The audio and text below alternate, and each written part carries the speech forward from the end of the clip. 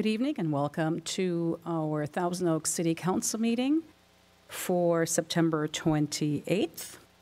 Would you please join us in pledging allegiance to the flag? Ready to begin? I pledge allegiance to the flag of the United States of America and to the republic for which it stands, one nation, under God, indivisible, with liberty and justice for all. Madam Clerk, would you please do the roll call? Councilmember Adam, Here. Councilmember Jones, Here. Councilmember McNamee, Here. Mayor Pro Tem Engler, Here. and Mayor Bill De La Pena. Present.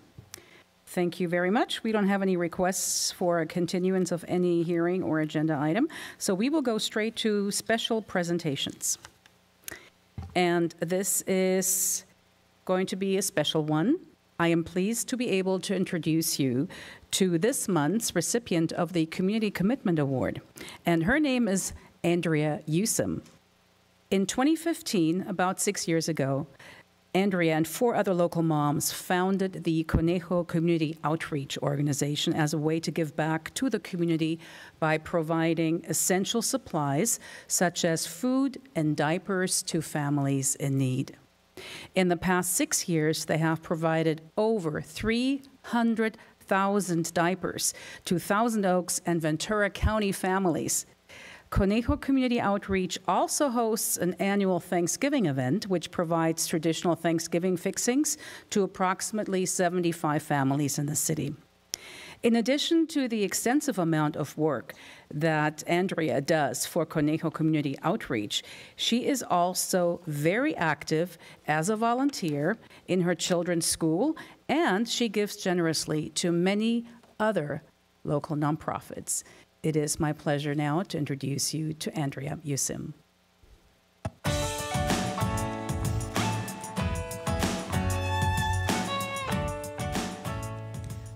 I'm Claudia Bill de la Pena, Mayor of the City of Thousand Oaks, and today I am here with the September honoree of our wonderful Community Commitment Award, and her name is Andrea Usim of the Conejo Community Outreach. Congratulations. Thank you. Here you go.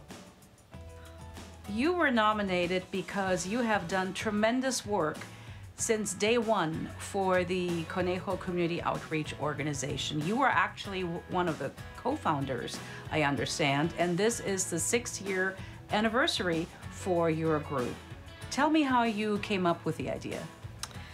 Um, in 2015, we began as a modest holiday relief, just trying to help people get their Thanksgiving meals together. And people wanted to donate to us with actual um, food donations, but they also wanted to give us funds.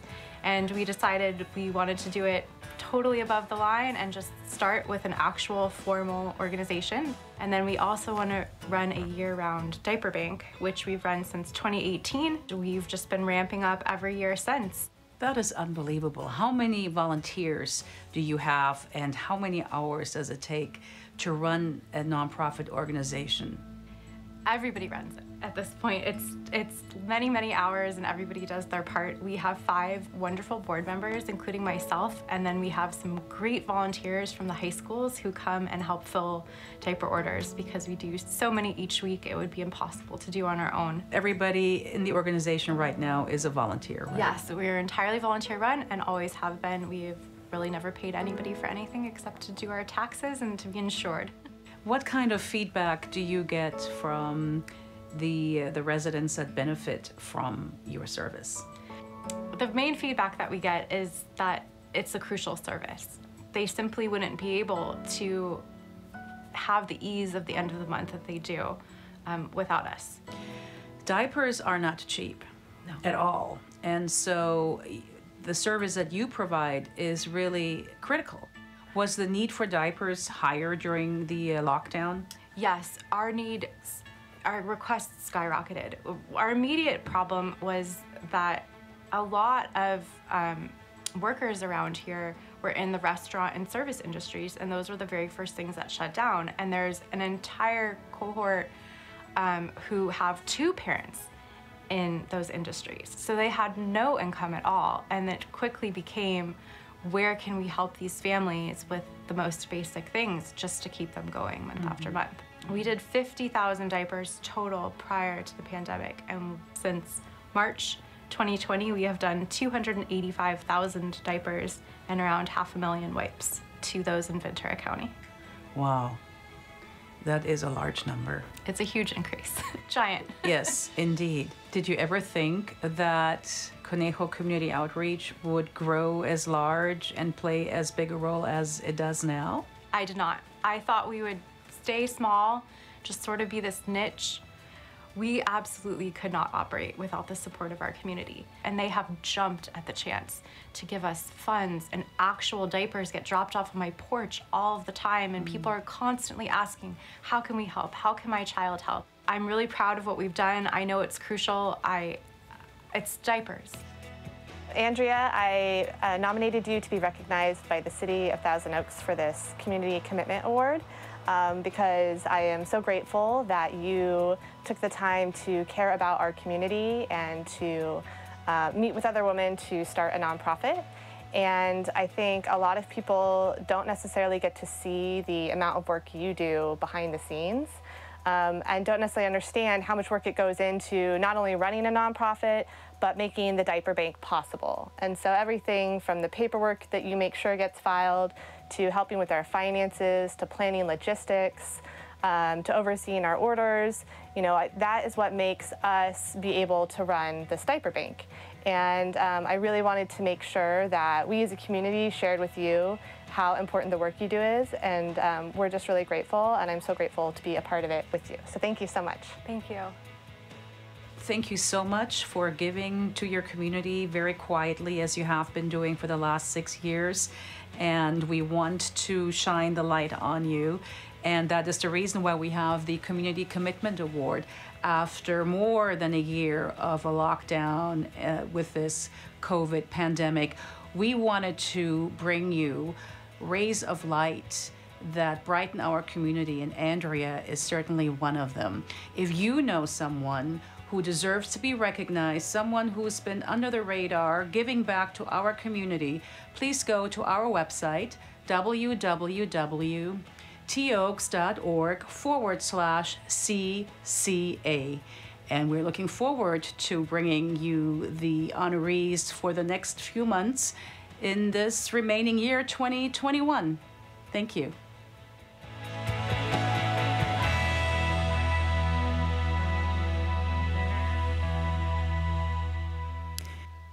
And we have Andrea joining us this evening via Zoom without all of the diapers in the background. Hello, Andrea. Congratulations once again. I see you. Can we, um, can we bring her in? Andrea, what is really remarkable also is that you, as a nonprofit organization, you don't really have an office. You work out of your homes. And so, um, of course, that cuts down on the overhead, but that also shows how committed you are. When, when is your next diaper drive or wipe drive? We do diaper drives any day of the week. If any Boy Scout, Girl Scout, school, any organization would like to do a diaper drive, we would love that. We turn over more diapers than you can imagine. So we will gladly take them at any time. And how can our viewers, people who are watching right now, reach you? How, how uh, will they know where to drop them off or when to drop them off? Do you have a website address? We do. It is www.conejocommunityoutreach.com, and you can reach any of us at all times at board at conejocommunityoutreach.com. Excellent. Thank you so much. Continue the wonderful work. Our community appreciates you very much. Thank you so much. Thank you. That is, again, my, my favorite part of the evening usually is the Community Commitment Award. And if you, again, as I mentioned, uh, have someone that you would like to nominate, just go to our website, www.toaks.org forward slash CCA. And with that, we will now go to public comments and we'll call on Madam Clerk. This is the time and place for public comments for those wishing to address the city council regarding items on the agenda or on a subject within the city's jurisdiction. All remarks should be addressed to the council as a whole. Speakers are requested to state their name and community of residence for the record. Under state law, public comment matters may not be considered by the council unless listed on the agenda, but may be referred to the city manager for administrative follow-up. Six individuals have requested to speak, and pursuant to council standards, speakers are allowed three minutes. Thank you very much. The first speaker of the evening is Anaí Quiros Romero, joining us via telephone. Good evening. Members of the City Council and neighbors. Uh, my name is Anaí Quiros Romero, and I have lived in the beautiful city of Thousand Oaks for the last 18 years. I am very happy to participate in these City Council meetings. I always learn a lot about what's going on in our city, but my intention is to give a voice to the undocumented community because I always feel that if I do not show up, nobody else who is undocumented shows up. Unlike other people who think that they do not have the social responsibility to talk about their lives and teach American citizens the lives that we have lived here, um, I believe that I have that social responsibility to tell you the experiences that I have had and that my family has had. Um, all of them have been positive experiences. Um, on the subject of low income housing, I wanted to share the story of how my brother, who is a US citizen, I'm not a US citizen, uh, when we were younger and my mom uh, couldn't work because she had cocci meningitis, my brother had to live with us in a garage at a house over at Wycliffe.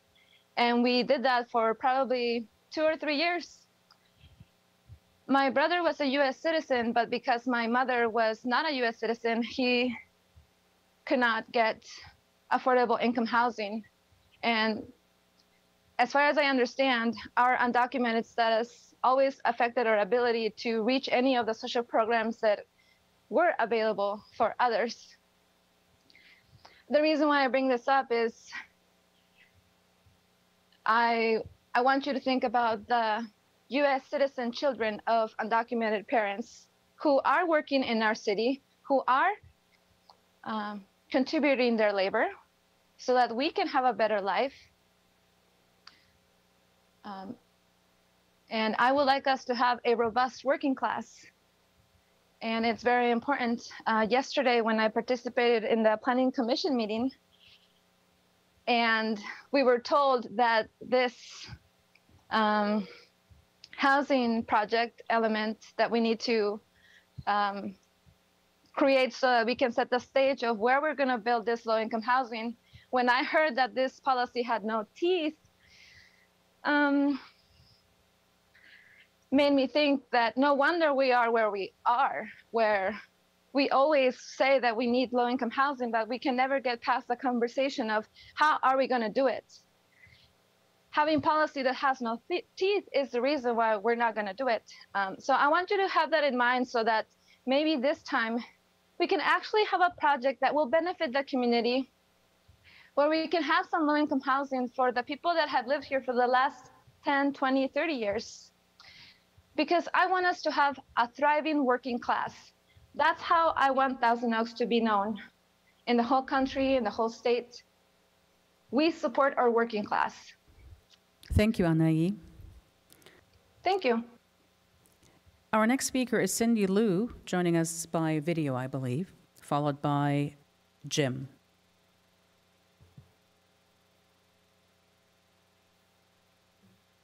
Good evening, everyone. Uh, my name is Cindy Liu. I am the founder and chief advocate of We Belong 805. We're disability justice advocates as well as consultants.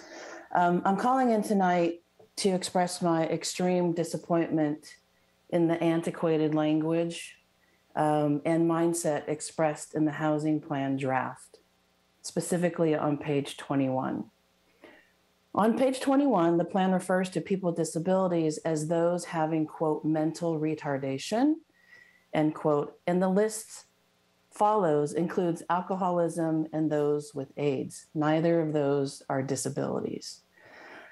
Um, this language is not only antiquated, but it's also highly offensive, ableist, and it's very concerning as it breaks public trust in your efforts towards our city's number one goal, which is diversity, equity, and inclusion. Um, I'm, I'm calling tonight to also ask um, and your support and encourage the staff and council to provide an articulated framework to the public um, related to your DEI work.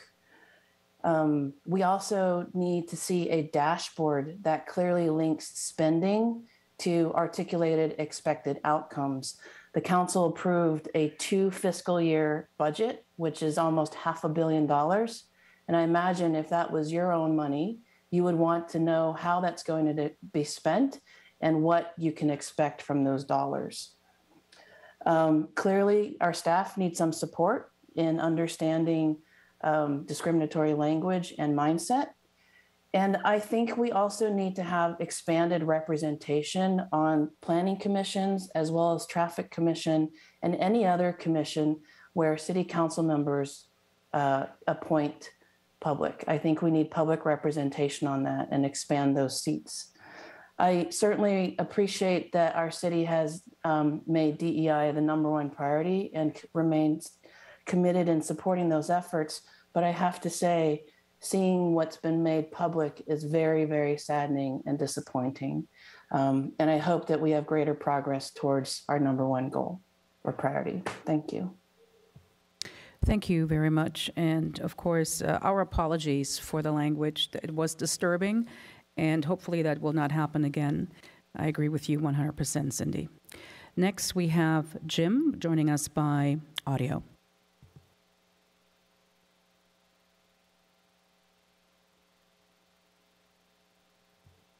If Jim is not present, maybe we can go to the next person. The next person on the list is Kathy Svitek, joining via video.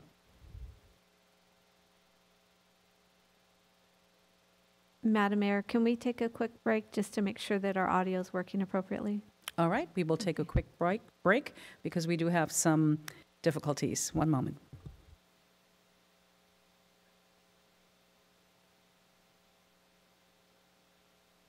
We lose the mayor's audio? No, I'm still Yeah, here, just but stand we. by for a moment, please. Yeah, just one, one All right. moment.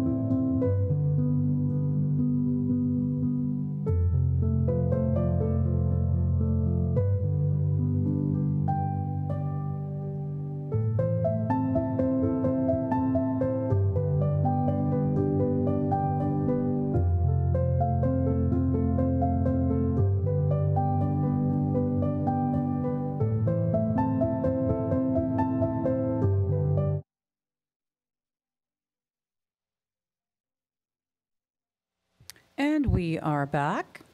We had left off with um, Cindy Lou, and the next speaker is Jim. Good evening, and thank you for your patience.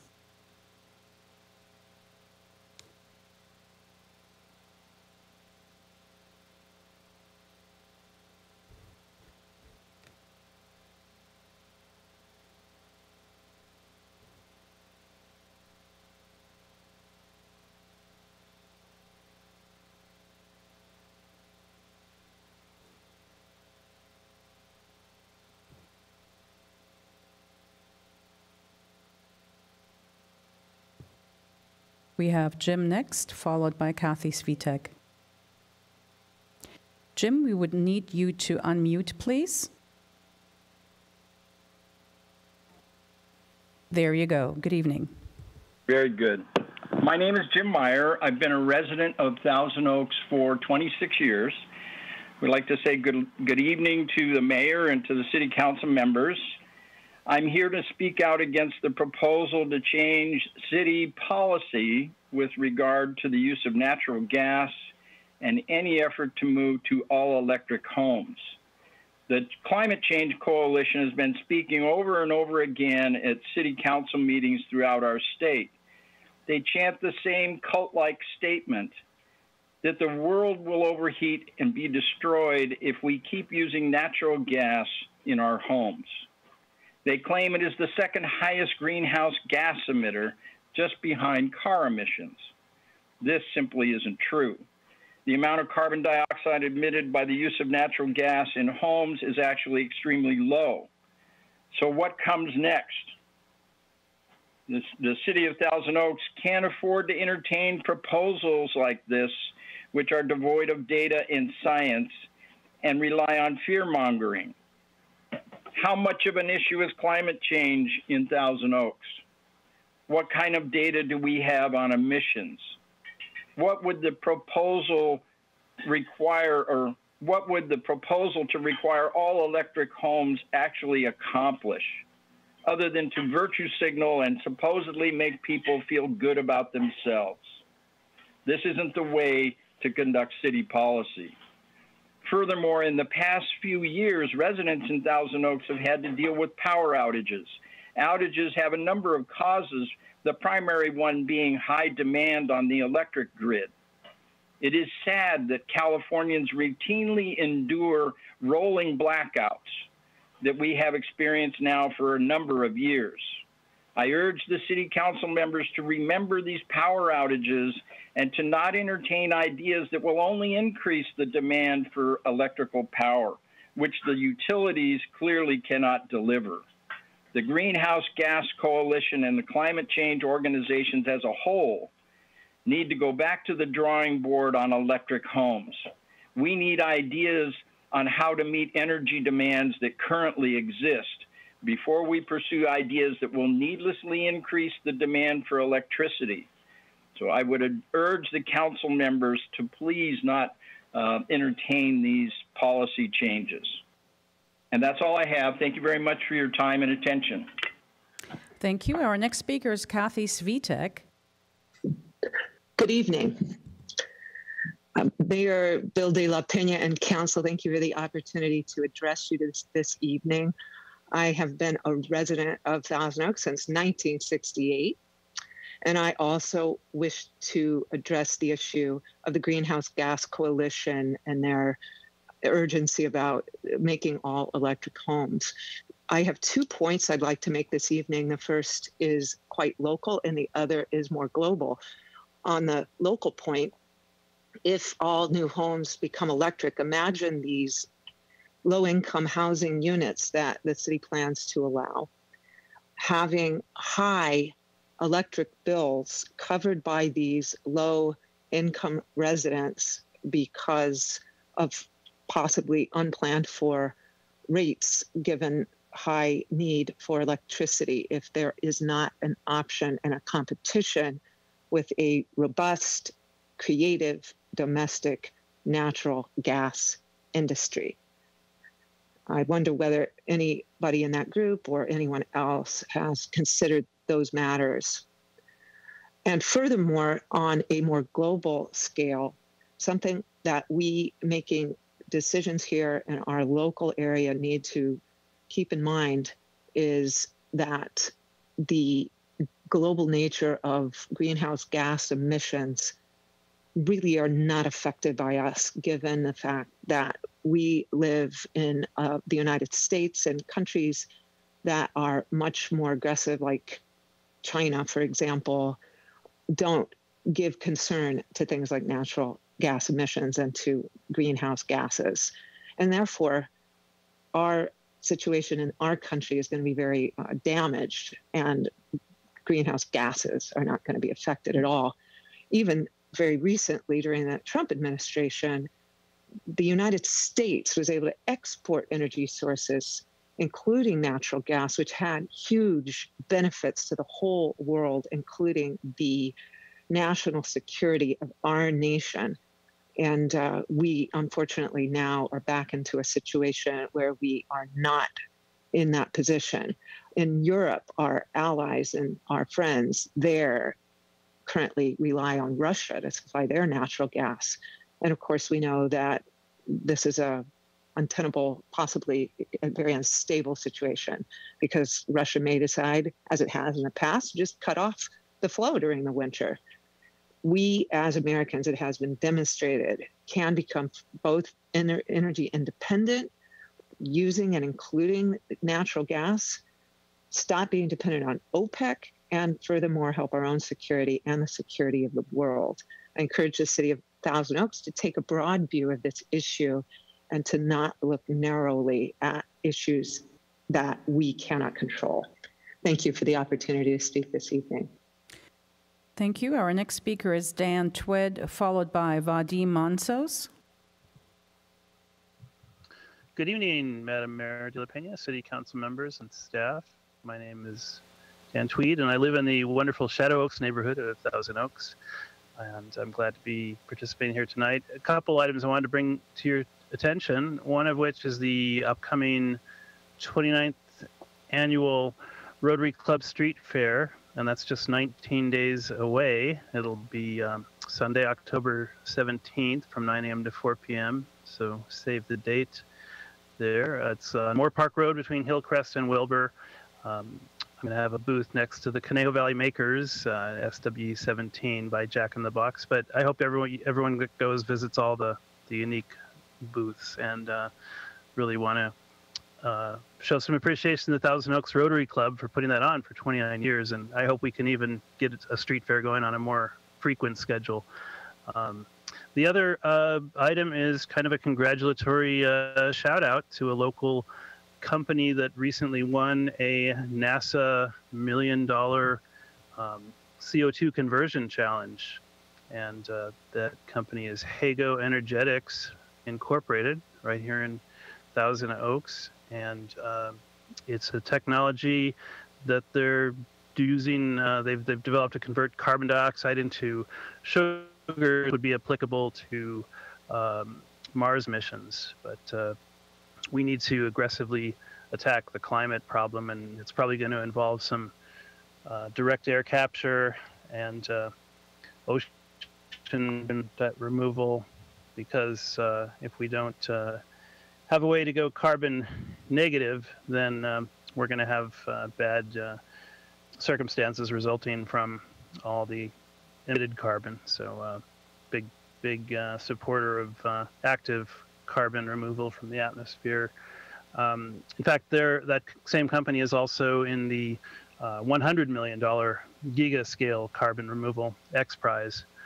So, um, I think I've, I've got an entry in that too that's kind of a little bit dormant. But uh, I just uh, I'm going to be on a discussion panel tomorrow, actually, uh, and the subject is climate technology, the World Talent Economy Forum. Um, very privileged to be on their board of advisors, and they have some great uh, speakers. Uh, they've done over 375 uh, shows, so that's worth looking up on on YouTube. The World Talent Economy Forum, and they're based in Malaysia, but they really do a great job of presenting to a worldwide audience on worldwide issues. So uh, save the date for the street fair. Uh, there's still booths available. I think they're only 63% sold out, and uh, I think August October 10th will be the deadline. And uh, thanks for letting me present tonight. Thanks. Thank you. Next speaker, Vadim Mansos, and our last public speaker is Dennis Maddock. Good evening. Um, can you hear me well? Yes. Oh, great. Um, um, my name is Vadim Manjos, and I lived in Newbury Park since 2002 with my family and six children.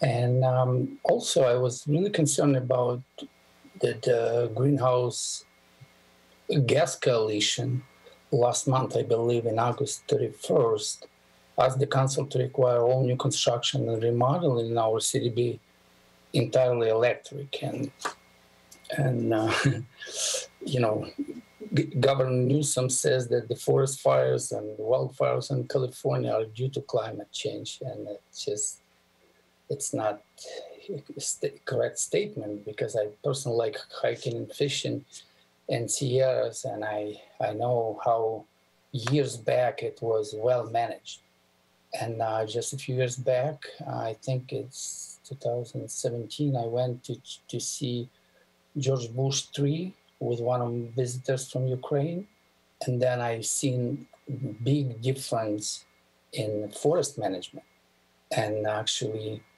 uh, you know, my guest uh, was asking me about you know possible fires, and I said, yeah, lately it happens because look look what's happening, and unfortunately our government doesn't probably have an idea that nature is doing what it does best. It burns the overgrown overgrowth and clears the forest with the wildfires.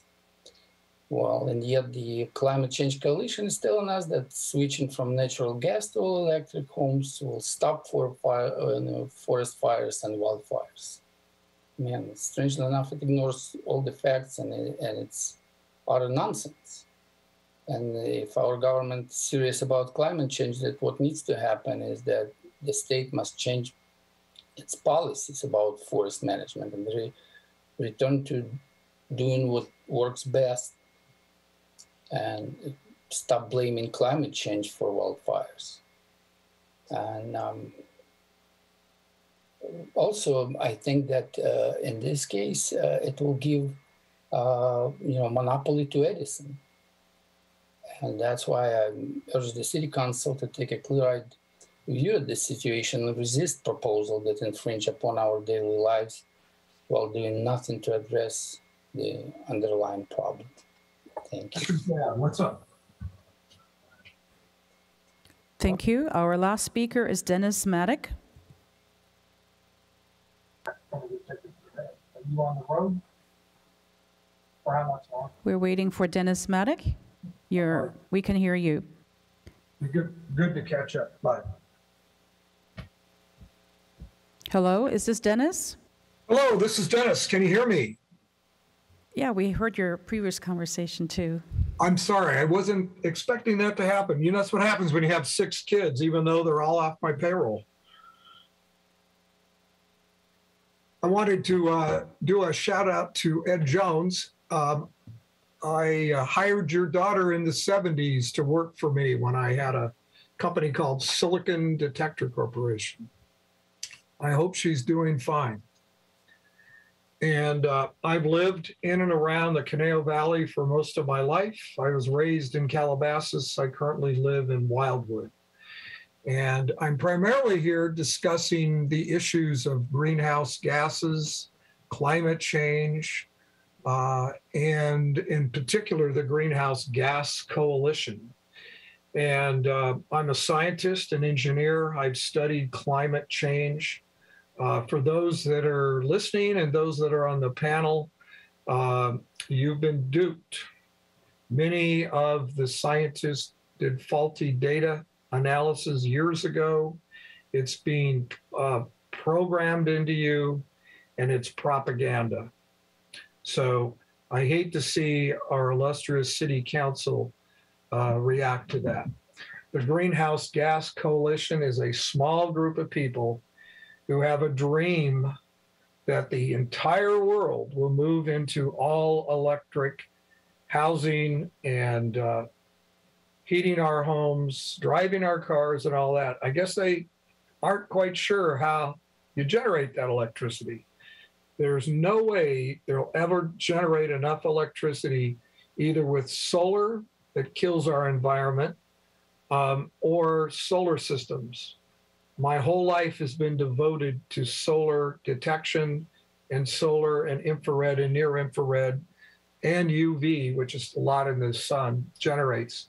It is not possible to get enough solar panels from China, because we can't build them here, or the rare earths to make those happen to ever power the economy of the United States.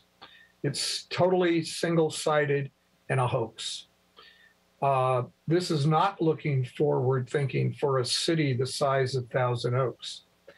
Uh, it is an unsound practice to think that you're going to do this, and it's a misguided move.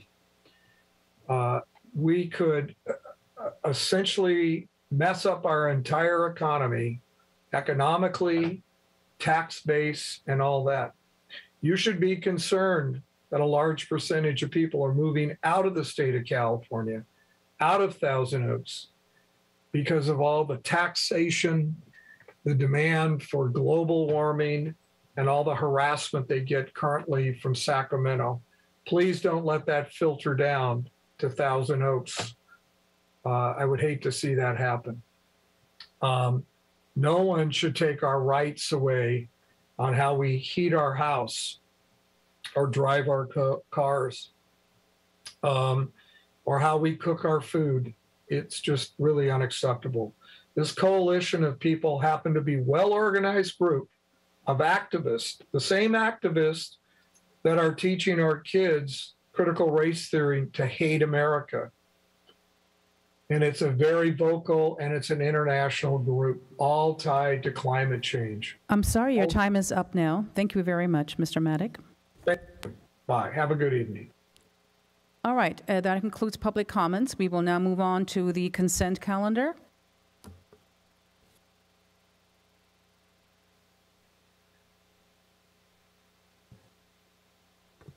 We Madam only- Mayor? Yes, uh, Mr. Jones. Yeah, the consent calendar is very sparse tonight. Mm-hmm. And uh, if no one has any uh, questions, I would like to move that we approve the consent calendar. Okay, let me see. I do have a hand up from someone. Was that you, Mr. Jones, that had a hand up?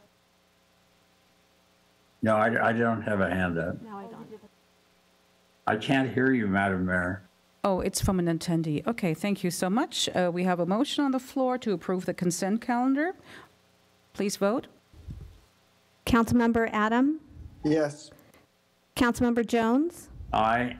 Councilmember McNamee? Yes. Mayor Pro Tem Engler? Yes.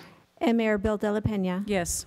And Madam Mayor, that motion carries 5-0. Thank you. We will now move to item number 10. It is a report, department report about the Conejo Creek Southwest Park development capital improvements, and that will be presented by Mr. Ryan Roman. And Andrew Mooney from CRPD as well. Good evening. Good evening, Mayor Bill De La Pena and City Council members. Thank you so much for having me. Just bear with me while I share my screen here.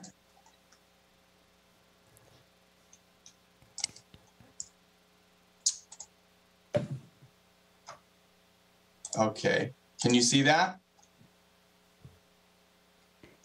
Yes. Okay, thank you so much for confirming. So I'm here tonight with Andrew Mooney, CRPD Senior Park Planner, to present the Conejo Creek Southwest Park Development Project and proposed grant agreement.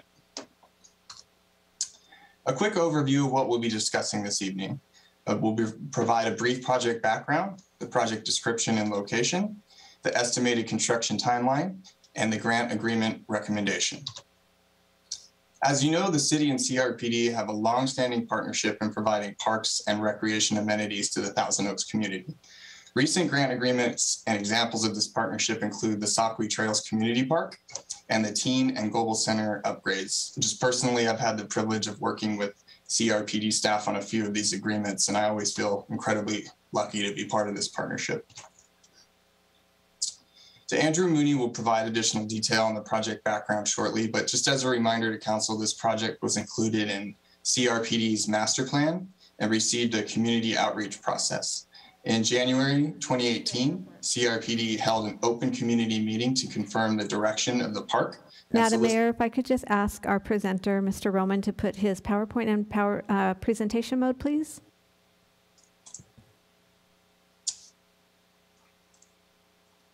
Did you hear that? Yes. Okay, Um, Mr. Roman, if you could just put it in PowerPoint presentation, because we also see your script. ah, There you go, thank you. Thank you. All right. Uh, yes, and uh, so in January 2018, CRPD held an open community meeting to confirm the direction of the park and solicit feedback from the public. Because of those comments, certain park amenities were incorporated in the proposed project brought before you tonight. A few, uh, a few key dates in the project process. On June 24th, 2019, the project was approved by the Thousand Oaks Planning Commission. Then the project was included in the city's adopted fiscal year 21-22 CIP budget with a $1.5 million grant toward the development of the construction of the project. Most recently, the concept plan was reviewed by the Capital Facilities Committee on September 8th, 2021. Here's a bird's eye view of the project area, which the site is located on Page Lane, north of Combs Avenue, and west of the 23 freeway. The picture in this slide outlines the currently vacant land where the park will be located. The park would serve the residential community directly adjacent to the property and the nearby growing residents on Thousand Oaks Boulevard and the surrounding area. CRPD owns the land and will manage the construction project, as well as any future operating and maintenance costs. Now I'd like to turn it over to Andrew Mooney, who will provide additional detail on the project and describe some of the amenities in the plan you see before you on the screen. So Thank you, Ryan, and, and city staff and council. Uh, CRPD really appreciates the opportunity to be here tonight. Um, this is an exciting project for us. Um, this will be a long time coming as far as the master plan of Conejo Creek Complex um, to develop this park site. This is one of the remaining few um, properties within that complex of, of the Conejo Creek master plan. Um, this project is going to fulfill some deficient parklands that we have as a district, um, as well as provide for so existing neighborhood use, but then also future neighborhood use, right? So just south of this is the Thousand Oaks Boulevard. And so as you guys are aware, uh, development's happening along that corridor. Um, so again, the, the support that, that Ryan's mentioned in past and present has been tremendous fr from the city. CRPD really appreciates that. Um, and this grant really is going to make that happen. So that, that's helping this park happen now versus possibly years from now. So a district and community really, really appreciates the importance, importance of this for the current and future residents. Um, to kind of give you a, a, project overview of the design, um, it's a 14 acre uh, overall property site. Um, so it's it, it is split in half by page land. So there's roughly about seven acres on the east side as well as the west side. Um, for the most part, uh, a lot of the development of, of developed park space, as far as parking lot, uh, solar powered restroom, um, some picnic areas, as well as a playground and some courts. We have a sand volleyball and a basketball court. Those are on the east side of the prop- of the property, um, as well as we have a network of multi-use pathways and trails as well as a designated equestrian trail that loops around the whole property, but it also connects to an existing city bikeway um, and equestrian trail that this is actually the, the beginning of it to the south and runs all the way through the complex, which connects to um, Creek North, uh, the teen center, the adult center, as well as the, the city library that's on the uh, Creek North uh, Park property. Um, so again, really great project. Um, kind of typical approach that we have. You can kind of see from the from the aerial on the site plan you're looking at. Um, we do have a lot of ex existing trees, so we're we're saving every existing tree that's on the property. So we, we've built around that, as well as we're adding over 150 trees. So we'll have 150 trees planted as part of this project. Included in those 150 trees, we'll have 27 mitigated walnut trees that, that were came, came of from the 299 Teal Boulevard development. Um, so we've been working closely with uh, city planning staff um, in their in their reviews and and working with private developers. And basically, if if they don't have room to mitigate on their property, we've we've welcomed it to be able to incorporate into uh, the park system, and that way, again, the general general benefit goes to the public. Um, so that way, for for many years, as those trees grow, people will be able to enjoy it. Um, it included also in this project. This is a 14 acre, uh, 14 acre uh, parcel. We actually only have three acres of turf. However, we've kind of maximized those three acres of turf.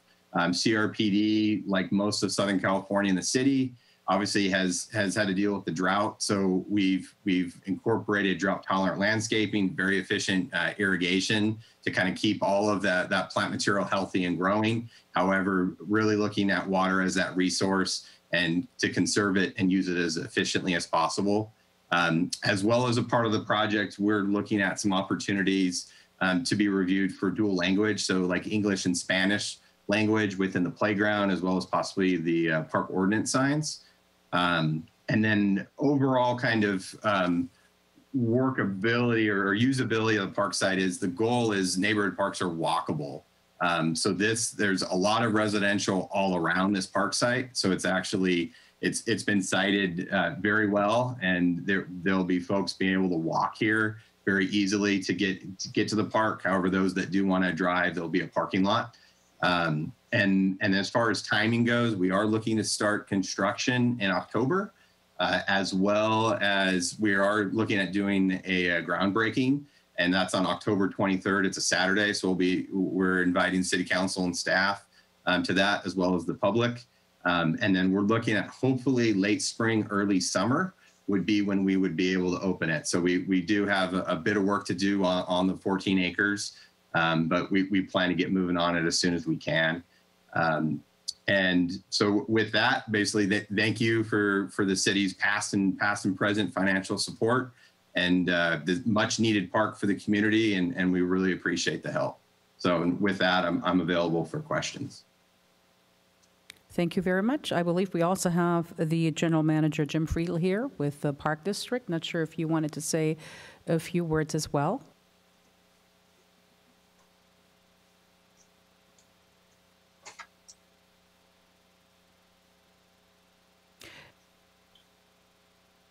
Okay. Well, uh, I actually was for questions only, but since I appear to have the floor, I wanted to just express my great appreciation to the City Council for uh, considering this grant for all of the great works we've done over the years. So, other than that, Andrew Mooney is a great planner for the Park District, and he's our guy.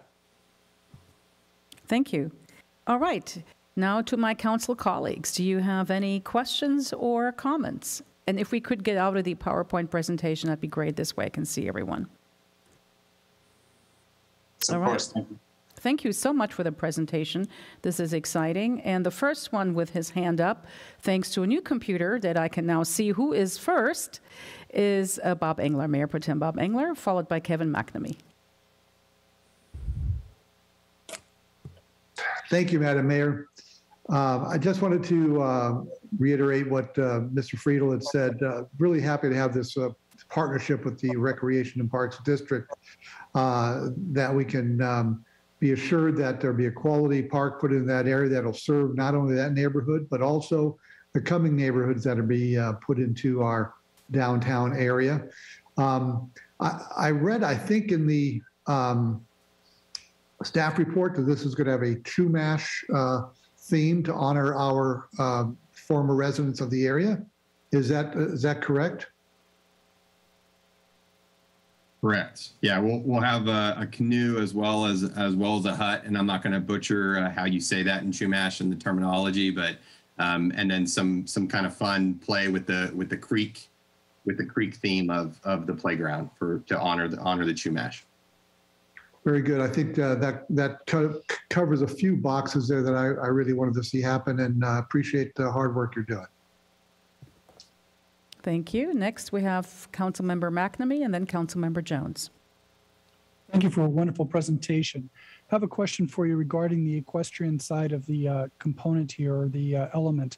Uh, given that I've enjoyed horseback riding for many years, uh, I noticed if you bring the map up on the uh, north side, I noticed the equestrian trail ends and doesn't allow for crossing over the road to tie in with the others, as well as how to get on the trail from uh, further up the map. If you can bring that up, I can point out where I'm referring and to see if we can tie that in to the other trails so that way they're not going over the grass and or uh, destroying some of the shrubbery that's there. Yes. Yeah, so we, but east and west, both parcels um, have Can we access. bring us up a little bit larger? Um, I, I'm not seeing it as well. Which view are we in? Yeah, Thank you, Ryan, you're, you're still in, in the, we can see your notes still.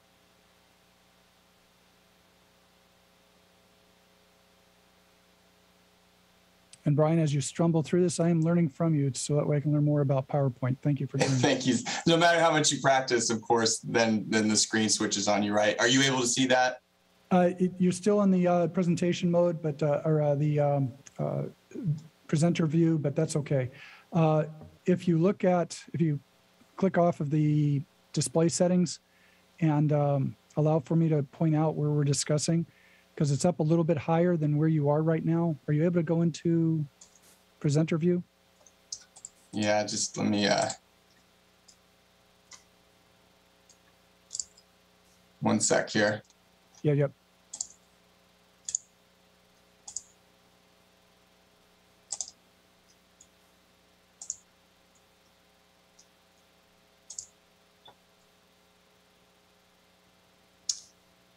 All right. Are you are you seeing that?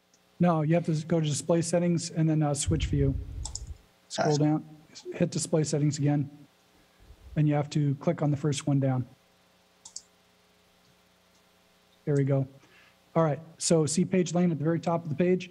And correct me if I'm wrong, the brownish roads there on the left and right side of the top part of the page, those are the equestrian trails, correct? Correct. All right. You notice that both of them have no entrance or exit or, or, or recycling with the rest of the trails. Specifically, the one on the top left going could go across Page Lane and then dovetail down into the one on the right side of Page Lane and be a continuous loop. So that way they're not having to destroy the uh, foliage that may be there. Do you follow where So, at? so, so the existing city bikeway actually has an equestrian uh, trail on the shoulder of it, and they actually have uh, scored concrete crossing in the bike lane in that area. And so basically, we're we would be kind of I would say restoring, but but uh, kind of grading native and keeping it clear with the development of the park. Um, and so then that would tie in, and we would have multiple kind of concrete crossings as we would uh, go across pedestrian pathways. And basically, we're connect. We're we're kind of at the terminus of the trail, and so we're connecting to the existing um, city bikeway and equestrian trail. If you could look at number two for me and move the pointer up over there and make certain we're talking about the same place. Number two, go to the right just slightly. That's the bike lane, correct? And if you come down a Correct. little bit, the brown is the equestrian trail, right? Correct, and that's My question- existing. Correct. And my question or request is tying that in with number nine across the road. So that way it doesn't, as you take the horse from number nine to number two or number two to number nine, you're not destroying the shrubbery. And that it's a nice trail to go across uh, to those two locations. Does that make sense to you? Correct. Um, in discussions with Ci- City Public Works Department, we aren't having any crossings going across Page Lane um, due due to traffic and curvature of the road there. We actually shifted our parking lot for vehicle traffic um, to be in a proper location per the traffic engineering studies. So with that, the goal is to not direct traffic across Page Lane because that would be an unsafe crossing because of the curvature and the speed of the road there. And we would be directing um, folks, uh, whether horseback or bike, down the bike trail to um, the southern, it would be like the bottom left corner of the site plan. And then they would, if they wanted to continue riding, they would ride across page, across the asphalt, across page lane to the east property and they can do a full loop on that property. However, we do have a shoulder that we would connect to if, if folks on the, it would be on the east side of the 23, but south side of Page Lane before you get to Conejo Creek South Ballfield. Um, if they would be riding their horses out, they could ride on the south shoulder shoulder of Page Lane, so they don't have to cross Page Lane and connect into the east property of of the park site. Okay, I, I follow what you're saying, and I see on like number seven where your icon is right now that yes, they can cross there because you've got a good line of sight to protect the horse and rider as well as the vehicle. Uh, but I'm sure as the mayor will uh, confirm with me, horses are capable of going to quite a few, um, terra- going through quite a few uh, different terrains. And I can assure you that equestrian riders at number two will try to cross the road up there, and that may need to be addressed at some point to either set it up differently so they have a better line of sight and can cross there, because whether you put something across or not, they will try to cross there. Just want to share that warning with you that that will happen. Yep, and part part of the park development is we're actually putting a, a split rail fence on either side of Page Lane to to to protect the public and to direct them into the Combs and and Page Lane intersection. Excellent. Thank you. No Mr. questions. Jones. Thank you so much. Mhm. Thank you, Mr. Jones. Yeah, Madam Mayor, I, I just like to compliment uh, Jim and Andrew for the presentation and for the development of this park.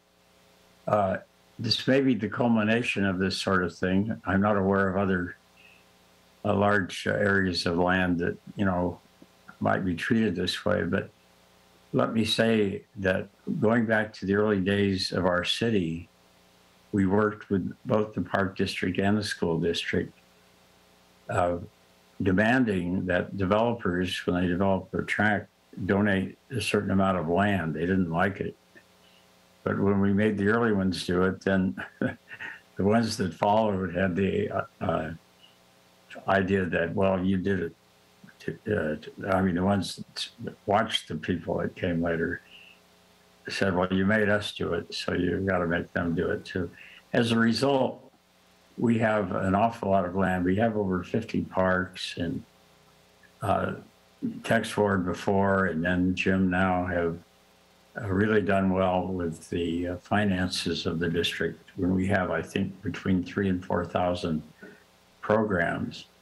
My point is that this is really a success story for the city of Thousand Oaks and for our people.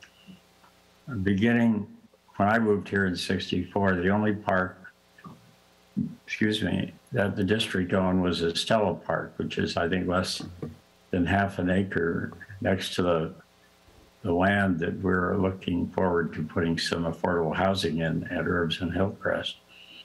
And from that tiny beginning, because of the partnership among all three, the city, the park district, and the school district, we've had lovely locations for schools, and we've had, as I say, over 50 parks, including large community parks and large playfields, and and and just you know dozens and dozens of neighborhood parks. So, uh, sorry about the long uh, oration here, but th- this may be the culmination. I don't know if there's any more land that might profit this way, but uh, the city, beginning with the early days and culminating now with our excellent uh, city manager, Drew, have uh, guided us to, you know, continue this and further the development. I don't know of any other city anywhere that has the great combination of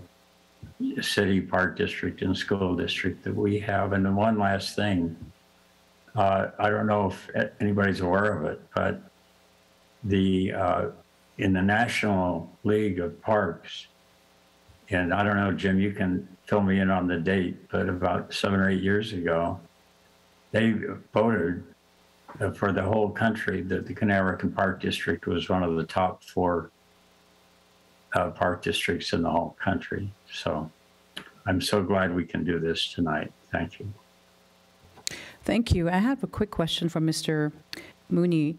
Uh, when you design parks, and now in particular this one, that includes equestrian trails, I would imagine that you do perhaps seek the feedback of equestrians or the neighbors nearby when you put this together? Yes, de- definitely. One, one of the reasons why we put in the equestrian trail element of this park is because of the neighbors. And so when we held when we held community meetings and got feedback from folks who who heard about the the interest of the district looking to develop it, um, as well as we have uh, multiple uh, equestrian um, user groups like ETI, um, Ride On, um, and so we we look to their resources as well as resources from the general public on how how how they how they use their horses and how they use our parks with their horses. Good. Okay, so this has been vetted by equestrians then. Correct. Thank you. All right. And with that, I do now see Mr. Adam with a hand up. I'm imagining it's for a motion, but go ahead. You have a good imagination, Mayor. That's exactly right. And uh, correct me if I'm wrong. I see Jim on the screen there. And Ed, I think we actually have over 60 parks, don't we? Don't we, Jim? Yeah, I mean, we uh, we always say over 50, up to 60 because uh, it gets into the weeds on definition. But, you know, is CLU Pool a park or not or, you know, that kind of stuff. So, but yeah, we have a we have a, we have more than 60 different facilities. Yeah. Most of which are parks. yeah. yeah, I mean, our park system and our Conejo Rec and Park District are really second to none in California or in the entire country. Like Ed said, it's just incredible what we've been able to do over the years. And there's so much to like about this project. I like the fact that it's low impact, not a lot of asphalt, but you got a lot of green, equestrian ta- trails, walkability connected to the boulevard where our general plan update is calling for a little more residential there. I think that's important. We get our Walnut Grove uh, uh, moved over a little bit to this park with 27 trees. So it's all good. Like I said, a lot to like, and it really fits well with what's there now. So uh, I would like to make a motion that we uh, proudly, as a city, contribute to this great resource. Move 10A. Excellent. 10A has recommendation one and two. Yes, Mr. Adam? One and two? That is correct. Mm-hmm. Okay. And yes, I love the fact that uh, here it is 2021 and we still construct parks with the heritage of our community in mind, namely the Chumash, as well as our equestrian heritage. So I believe that that is worth noting. Thank you, and I will call for a vote. Councilmember Adam? Yes. Councilmember Jones? Aye. Councilmember McNamee? Yes. Mayor Pro Tem Engler? Yes. And Mayor Bill De La Pena? Yes. And that motion carries 5-0. Thank you very much. We now move to item 13, which is council issues recommendations. And this one really is a historic consideration this evening. We are going to be considering whether to approve an emergency shelter and permanent supportive housing in the city of Thousand Oaks, the first time ever. This report was put together by staff, but it is from the ad hoc committee uh, on homelessness, namely Mayor Pro Tem Bob Engler and myself. This has been three years in the making and uh, very, well, um, I'm actually quite proud that we finally got to this point this evening and uh, wanted to also let Mayor Pro Tem Engler say a few words as the co committee member of the ad hoc uh, homelessness committee. Thank you, uh, Mayor. Um, yes, I'm very also very happy. The the committee has been working hard for the last uh, several years, and the the the uh, number of things we've looked at and examined while all the while while our our unhoused population uh, is growing. Um, I think the the solutions that we are bringing to our to our colleagues, I think, are worthy of debate and worthy of uh, taking a look at. Um, I, uh, I'm looking forward to our discussion tonight.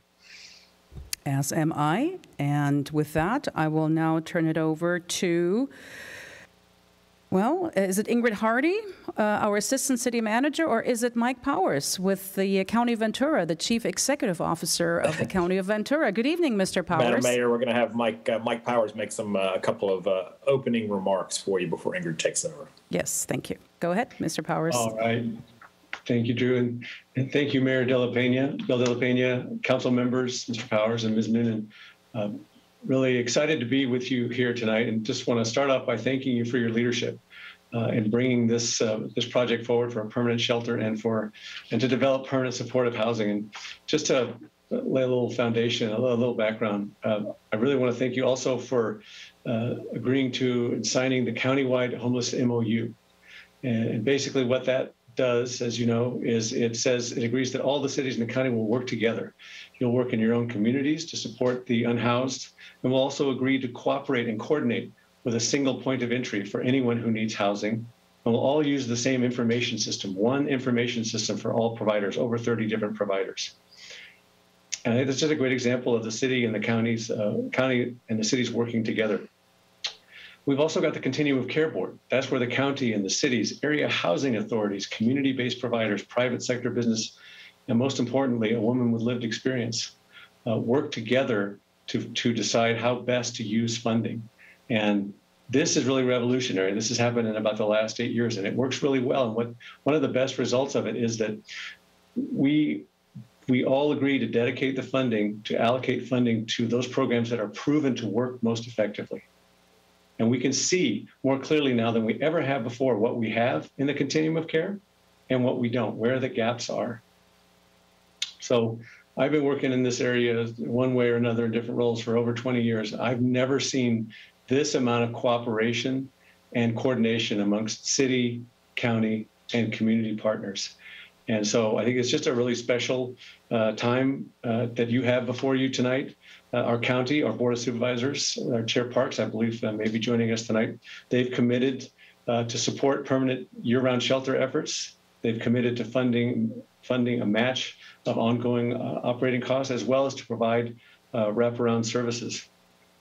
And the other thing I would say is these, the availability of these Homekey funds from the state, it's really a once in a generation opportunity. Uh, and you know, you really got to.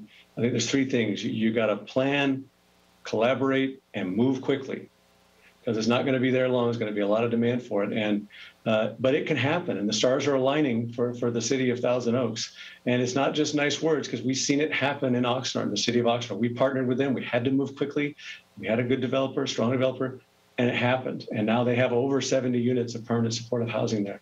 Uh, because everybody got on the same page and worked well together. The other reason I think it's an important moment in time is the county and community organizations have really, especially over the last 10 years, built so many community-based programs, health, social services, uh, mental health, alcohol and drug uh, programs that where we go out into the field to support the people facing homelessness. We have more of this than ever, and it's really proving effective. But time after time, one of the things these wonderful people, these passionate people say is we need housing. For all of the service programs that we have, still finding placement for them is our biggest challenge, and we need permanent supportive housing. So that's one of the things that the continuum of care has highlighted. Uh, all of our programs are highlighting. And of course, the folks who are placed in this permanent supportive housing will be placed through the single point of entry program and information will be shared and coordinated with all the providers through the HMIS system. And we're, data is critical, right? Data will really lead you in the right path. And one of the things that we've seen is a strong retention rate in housing. Greater than 96% of folks are still housed two years later. So proven incredibly effective. So emergency shelter programs are, are really effective at stabilizing people, you know, who are facing the trauma of being unhoused but you have to be able to transition them as well next into permanent supportive housing. And that's what you're talking about doing here tonight. And uh, I just thank you for your leadership. And the goal is to obtain, of course, uh, permanent housing options for people. And that's the opportunity you have before you tonight. So I just thank you for your leadership and your partnership. And I'd be happy to answer any questions. Thank you very much, Mr. Powers. I appreciate your time this evening because I know you are a very, very busy man. so, very Honored much appreciated. And uh, with that, we will go to our Assistant City Manager, Ingrid Hardy, who has really embraced this issue for um, since the day she started almost. Go ahead.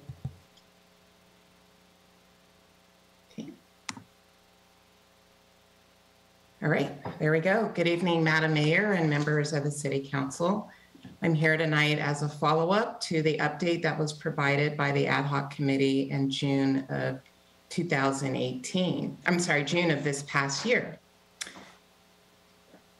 Addressing homelessness has been a city council priority since 2018 when the ad hoc committee was formed. The committee members spent a significant amount of time learning the landscape of homelessness in Thousand Oaks from a wide range of stakeholders with significant on the ground experience.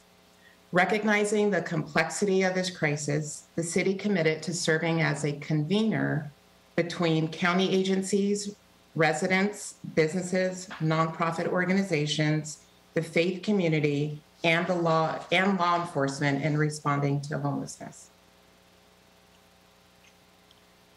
Oftentimes, homelessness is characterized one dimensionally.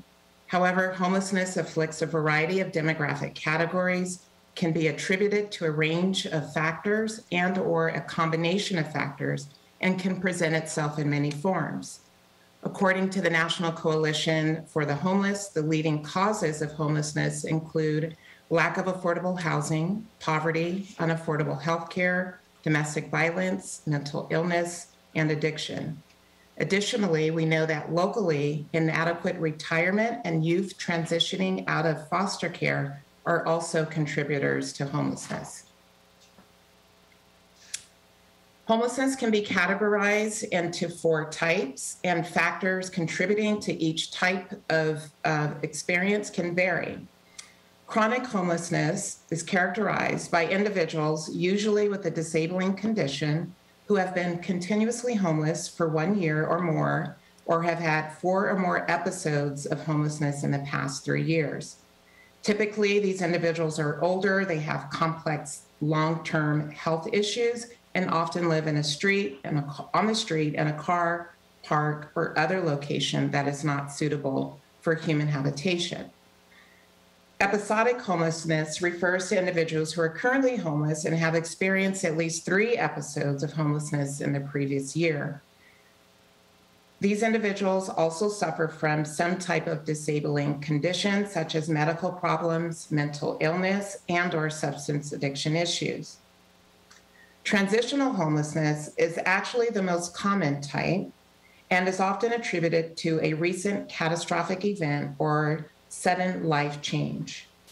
And lastly, there's hidden homelessness, which refers to individuals temporarily living with others or couch surfing without a guarantee that they will be able to stay long term and without immediate prospects for acquiring permanent housing. This often describes people staying with friends or relatives because they lack other housing opportunities. This population is considered hidden because they do not access homeless support and services despite their need for them. For this reason, they do not appear in our standard homeless statistics. Again, homelessness presents itself in many forms, and some experience long term homelessness, while others experience it for shorter periods. To address the various contributing factors to homelessness and the types of homelessness, experts show that a multi pronged approach is the most effective means in addressing it. These are five components of a homelessness crisis response system. The goal of this system is to make homeless rare, brief, and non recurring. An effective crisis system identifies and quickly connects people who are experiencing or at risk of experiencing homelessness to housing assistance and other services. Each component could include the participation of one or more agencies, organizations, or institutions. As the local convener, the city works with multiple agencies and organizations to respond to the needs of persons experiencing homelessness in Thousand Oaks. However, the city continues to be hindered in its ability to sufficiently serve our unhoused population due to a lack of emergency shelter and available permanent supportive housing. And I'll touch more upon this later in the presentation. In 2018, the City Council's Ad Hoc Committee on Homelessness presented several areas of focus to develop and strengthen the city's response to homelessness. These categorical recommendations include aligning the city strategies with a broader regional approach, developing robust education and outreach materials, continuing to fund local service providers through our CDBG and Social Services Endowment Fund, maintaining public spaces and facilities, encouraging the inclusion of additional affordable housing units in future residential projects, and also taking necessary administrative actions to strengthen the city's response. And last but certainly not least, supporting and working with our law enforcement to address public safety issues and concerns related to homelessness. In accordance with the recommended focus areas, the City Council has taken meaningful action over the last few years, and some of these actions are summarized on the slide. As mentioned by our county CEO, Mike Powers, the City Council did approve a countywide MOU with other local cities. The MOU calls for a joint commitment to address homelessness through actions such as participating in our coordinated entry system and developing our crisis response system. The city also solicited feedback in our last statistically valid survey. And in this survey, 60% of respondents support incentivizing hotels to accept vouchers, 62% support temporary shelter, and 59% support permanent supportive housing. Additionally, to build awareness of um, homelessness in Thousand Oaks, we've consolidated information on the city's website. We've conducted a robust um, outreach campaign on giving to local organizations instead of panhandlers. In addition, the ad hoc committee hosted a well attended symposium with representatives from our local faith community, um, state and county government, as well as law enforcement. Um, City Council has approved over $800,000 to our nonprofits. We have a dedicated staff resource. After the Boise ruling, which I'll touch upon a little bit later, the city updated its municipal code to distinguish between sleeping versus camping. We have participated in multi jurisdictional agency meetings to respond to our encampments the City Council has also encouraged the inclusion of affordable housing units in residential projects, and this has resulted in over 150 units being identified through a pre screen process. And lastly, the City Council recently approved the acquisition of Hillcrest Christian School, which will be the future site of for sale affordable housing. The ad hoc committee last presented to the City Council on June 22nd of this year.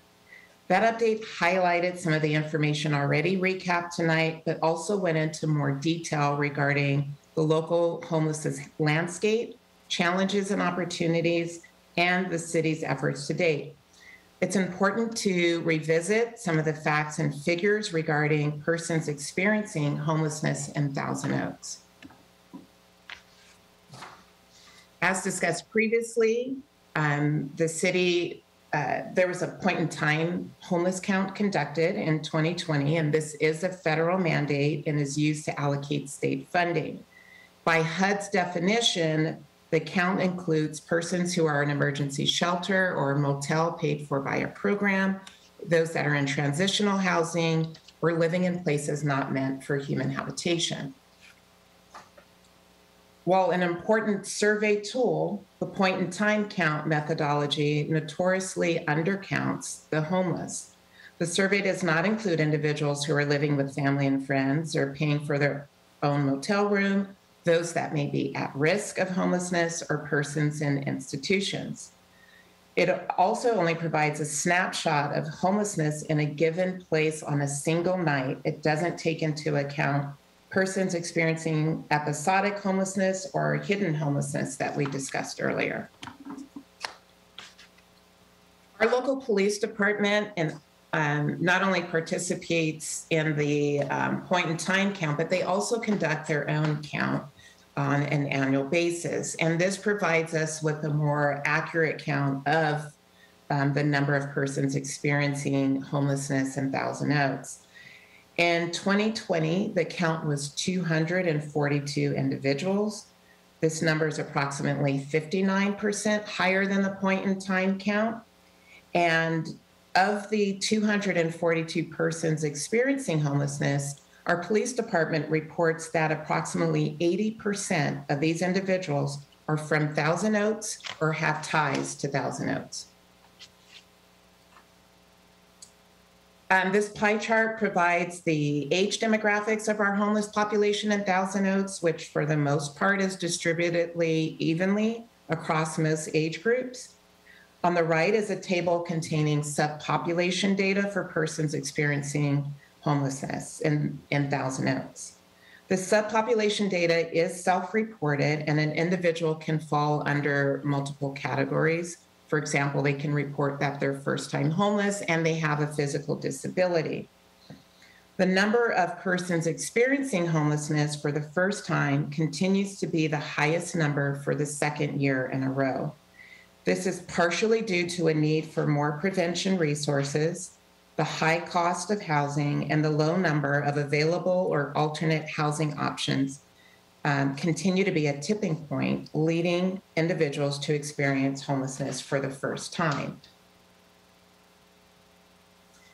This slide depicts the percentage of where homeless persons are located in Thousand Oaks, including changes that occurred between 2019 and 2020. The number of persons living in encampments has increased significantly over the last year. These individuals now make up 41% of persons experiencing homelessness in Thousand Oaks. The, propor- the proportion in hotels has also increased, and this is likely due to the state's Project Roomkey program and council providing local nonprofits with funding for motel vouchers since the rotating winter shelter was closed um, in 2020 due to um, COVID. At our June 22nd meeting, we also discussed some of the ongoing challenges. The Martin versus Boise ruling essentially states that it is cruel and unusual punishment for municipalities to criminalize the act of sleeping outside when there is no sleeping space available in a shelter. As a result, ordinances that ban or prohibit the act of sleeping on public property when an individual has no other option is considered unconstitutional. The city did update its ordinance to differentiate between camping and sleeping, and sleeping is allowed between the hours of 10 p.m. and 6 a.m., according to our ordinance. City staff, council, and TOPD regularly receive complaints from residents and local businesses to do something about our homeless population. Being homeless is not a crime, and there are very limited um, options on the actions that law enforcement can take. In addition, when there is enforcement, there's a challenge with short term court custody. Um, oftentimes, when a person experiencing homelessness is arrested, they do not stay in custody for very long. Quite often, they are in custody for a few hours and then released. And upon release, they return to the same city and in some cases return to the same place where they were arrested. My apologies, I skipped too fast there. Lastly, there is no year-round emergency shelter available in the Conejo Valley. So for persons who need shelter with services to help them navigate housing option, there's no place for them to go. There are also very few permanent housing resources available locally. City Council has recognized the gap in its crisis response system and as a result recently adopted a priority to identify and advance solutions for temporary shelter and permanent supportive housing. Other opportunities include continuing to support local organizations through our grant programs and pursuing funding through um, the federal, state, and county agencies.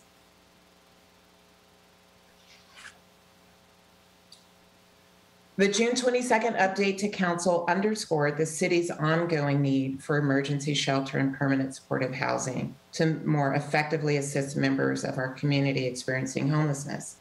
It recalled the city's um, number two priority, and we also noted the city's plan to issue a request for qualifications to identify a highly qualified developer, owner, or operator to assist the city in identifying a potential location for acquisition and conversion into an emergency shelter and permanent supportive housing. The intention of issuing the RFQ was to proactively prepare the city for significant anticipated new funding expected to become available through the state's Project Homekey Round 2. Before we go into the recommendations um, before the City Council this evening, I would like to take a step back and provide critical foundational information regarding tonight's proposal.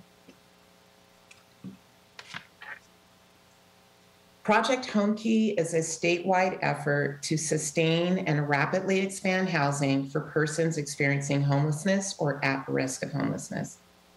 The round two of the funding continues to build on the success of both Project Roomkey and the first round of Project Homekey. The state has committed approximately 1.45 billion to the program for fiscal year 21-22, and the program will be administered by the California's Housing and Community Development Department. The program will make grant funding available to local public entities, including cities, to acquire and convert existing buildings, including hotels, into permanent or interim housing. The funding can also be used for units to be converted from non residential to residential, new construction, master leasing of properties, for non congregate housing, or scattered site housing where units are dedicated to the target population. Also, one of the requirements of Project Homekey funding is that applicants must use the Housing First model. Housing First is an evidence based practice that has demonstrated when persons experiencing homelessness are housed first and offered wraparound services, the chances of returning to homelessness is greatly reduced. Due to this successful strategy, in 2016, Housing First was codified in the state's Welfare and Institution Code. California legislature passed Senate Bill 1380 requiring all housing programs to adopt the Housing First model. Tenant screening and selection practices promote accepting applicants regardless of their sobriety or use of substances, completion of treatment, or participation in services. Also, applicants are not rejected on the basis of poor credit or financial history. Duration or chronicity of homelessness, vulnerability to early mortality, or high utilization of crisis services are also factors in tenant selection. Under the Housing First model, tenants do pay rent and they do have all the rights and responsibilities of tenancy. This slide illustrates some of the primary characteristics of interim shelter and housing and permanent supportive housing. The nomenclature around various housing types to accommodate persons experiencing homelessness is varied. For the purpose of a meeting tonight and to simplify the request before the council, a shelter or interim housing is designed to be temporary. Some shelters are open during the winter only, such as what we had um, with the rotating winter shelter in Thousand Oaks. And then there's also year round shelters, such as the um, shelter in Ventura. They are typically operated by nonprofits or religious organizations. And in addition to providing food, the more common and a roof over one's head, the more common model today is one of a navigation center where there's on site case managers who help individuals navigate housing options, employment services, healthcare, and other needs. The ultimate goal is permanent housing and to end homelessness. For some, the pathway to permanent housing may be rapid rehousing, where rental assistance is provided to help someone get back on their feet. In other cases, and for persons with disabilities or those that are chronically homeless, a likely pathway is permanent supportive housing. And this is where permanent supportive housing combines affordable housing with wraparound support services.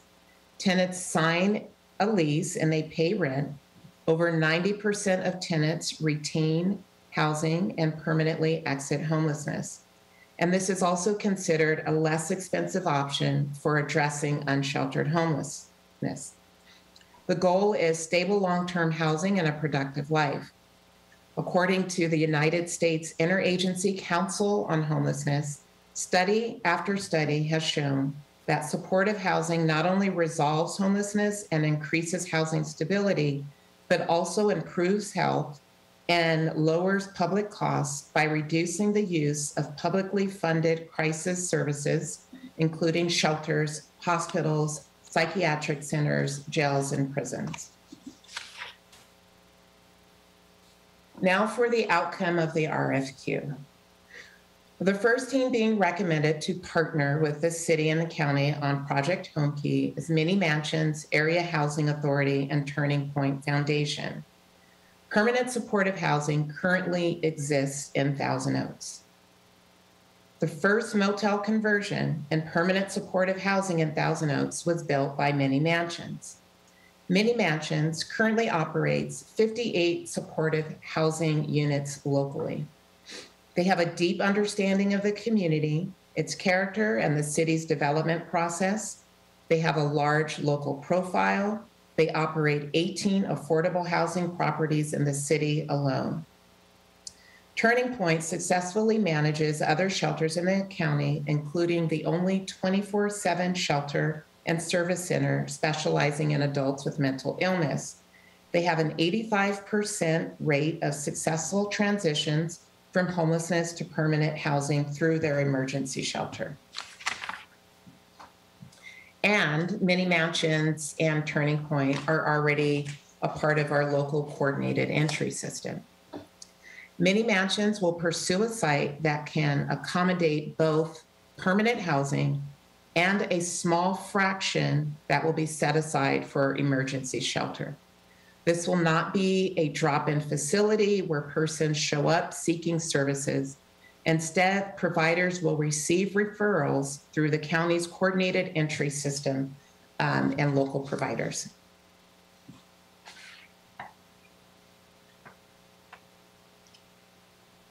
The second team being recommended is Shangri La Industries and Step Up on Second. This team has significant motel conversion experience, including two Homekey projects. They have a proven record on permanent supportive housing, including being cost effective and timely projects that are delivered, um, timely projects delivered that are responsive to unique community needs, and 97% program retention rates. Shangri La has taken a proactive step by entering into a private transaction with, pro- with the property owner of Quality Inn and Suites. They do not require any capital assistance for acquisition or rehab of the site. Unlike capital projects that are brought before the City Council, where staff releases an RFP and returns to Council with a dollar amount of the project cost, this is not the case for the item before you this evening. Financing affordable and supportive housing projects is very complex and requires an amalgamation of various funding types. And the ability to access these various funding types is dependent upon a host of factors. This is not an exhaustive list of funding sources, but merely for the purpose of demonstrating that the number of funding opportunities the city, county, and respective development partners can pursue. As a reminder, to support the City Council's priority of affordable housing and addressing homelessness, the City Council has already unanimously approved funding in the current fiscal year budget. And, and this amount of funding is $16 million, and there is just over $6 million remaining that can be used to support both of these projects. If the City Council chooses to move forward with the recommendations this evening, this will not be the first time that the city is financially contributing to affordable housing in Thousand Oaks. Since 1973, the city has contributed nearly $70 million towards affordable housing units. For the most part, these contributions were made using redevelopment dollars prior to the dissolution of RDA. And this does include over $7 million for Hillcrest Villas, which has units set aside for homeless persons with mental disabilities and their families, as well as units for extremely low income and homeless families. After the dissolution of redevelopment, the city's contributions towards affordable housing has been greatly reduced until recently when you acquired the former site of Hillcrest Christian School. While the council is not being asked to appropriate a specific amount of funding this evening, by approving the recommendations before you this evening, you are making an affirmative commitment to provide future funding towards each of these projects. City staff, county staff, and development teams will work cooperatively to identify as many sources of funding as possible to support the project and to bring forth the most reasonable request before the City Council at a later date.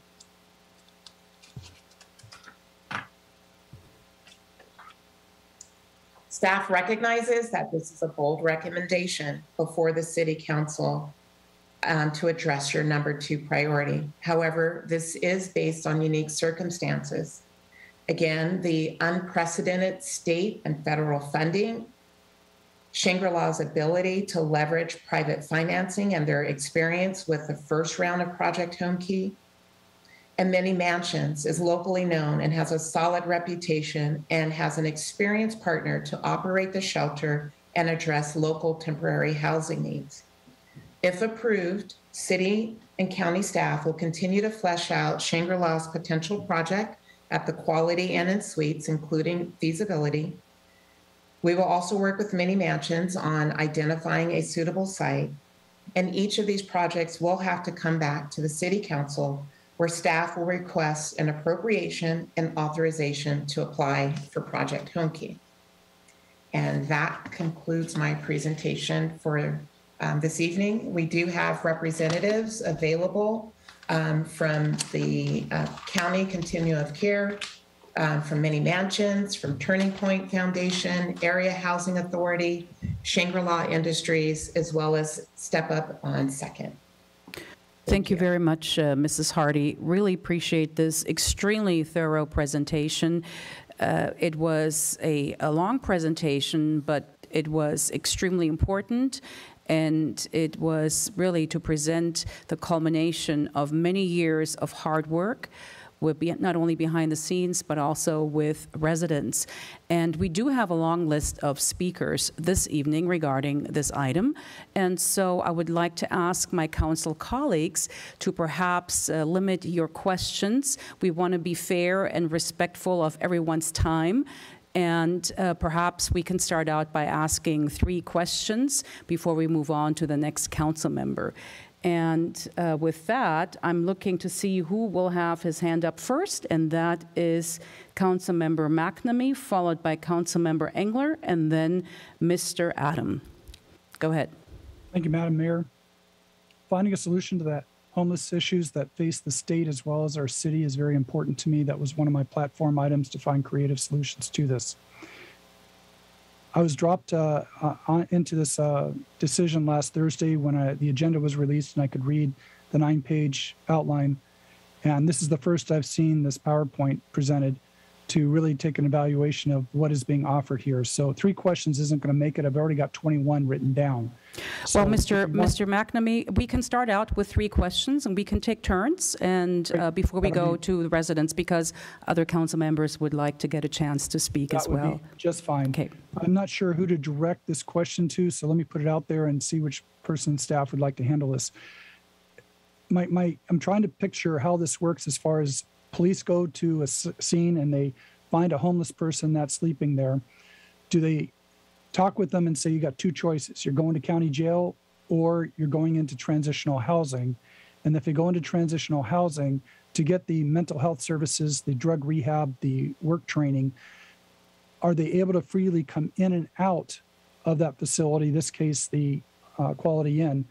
And if they do that, uh, what kind of impact will that have on the community, the business community around, with all Thousand Oaks homeless congregating right in that location? I, I don't know who to direct that question to. I'm going to have our um, law enforcement address the question, but just one point of clarification before I do that.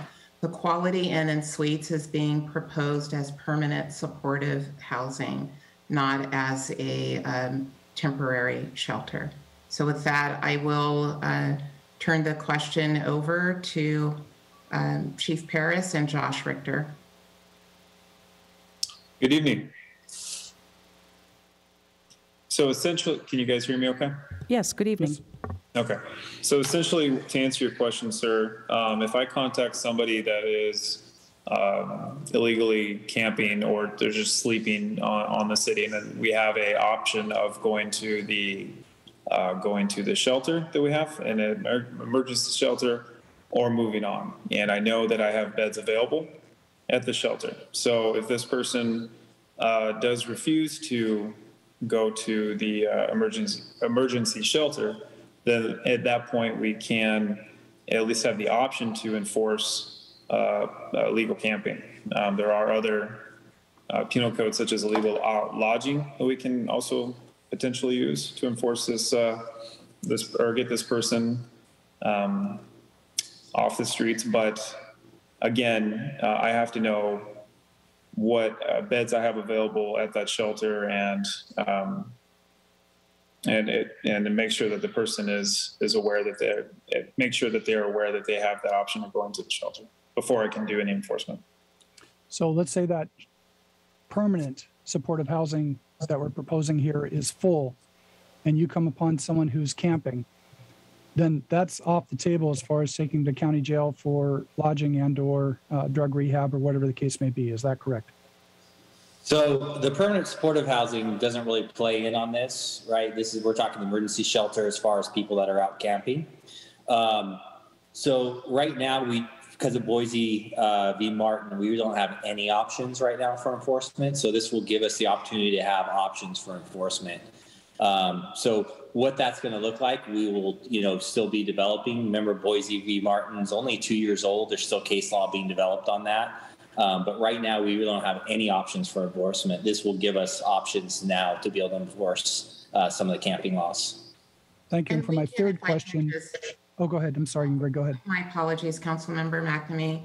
If I can also just share too that um, we can work with our law enforcement team to have beds that are set aside specifically for that purpose. We have seen that done in other communities so that they know they can pick up the phone and um, reach the shelter and have a bed available. So you've made it clear that this is primarily permanent supportive housing, and I'm hearing an 85% retention rate years later.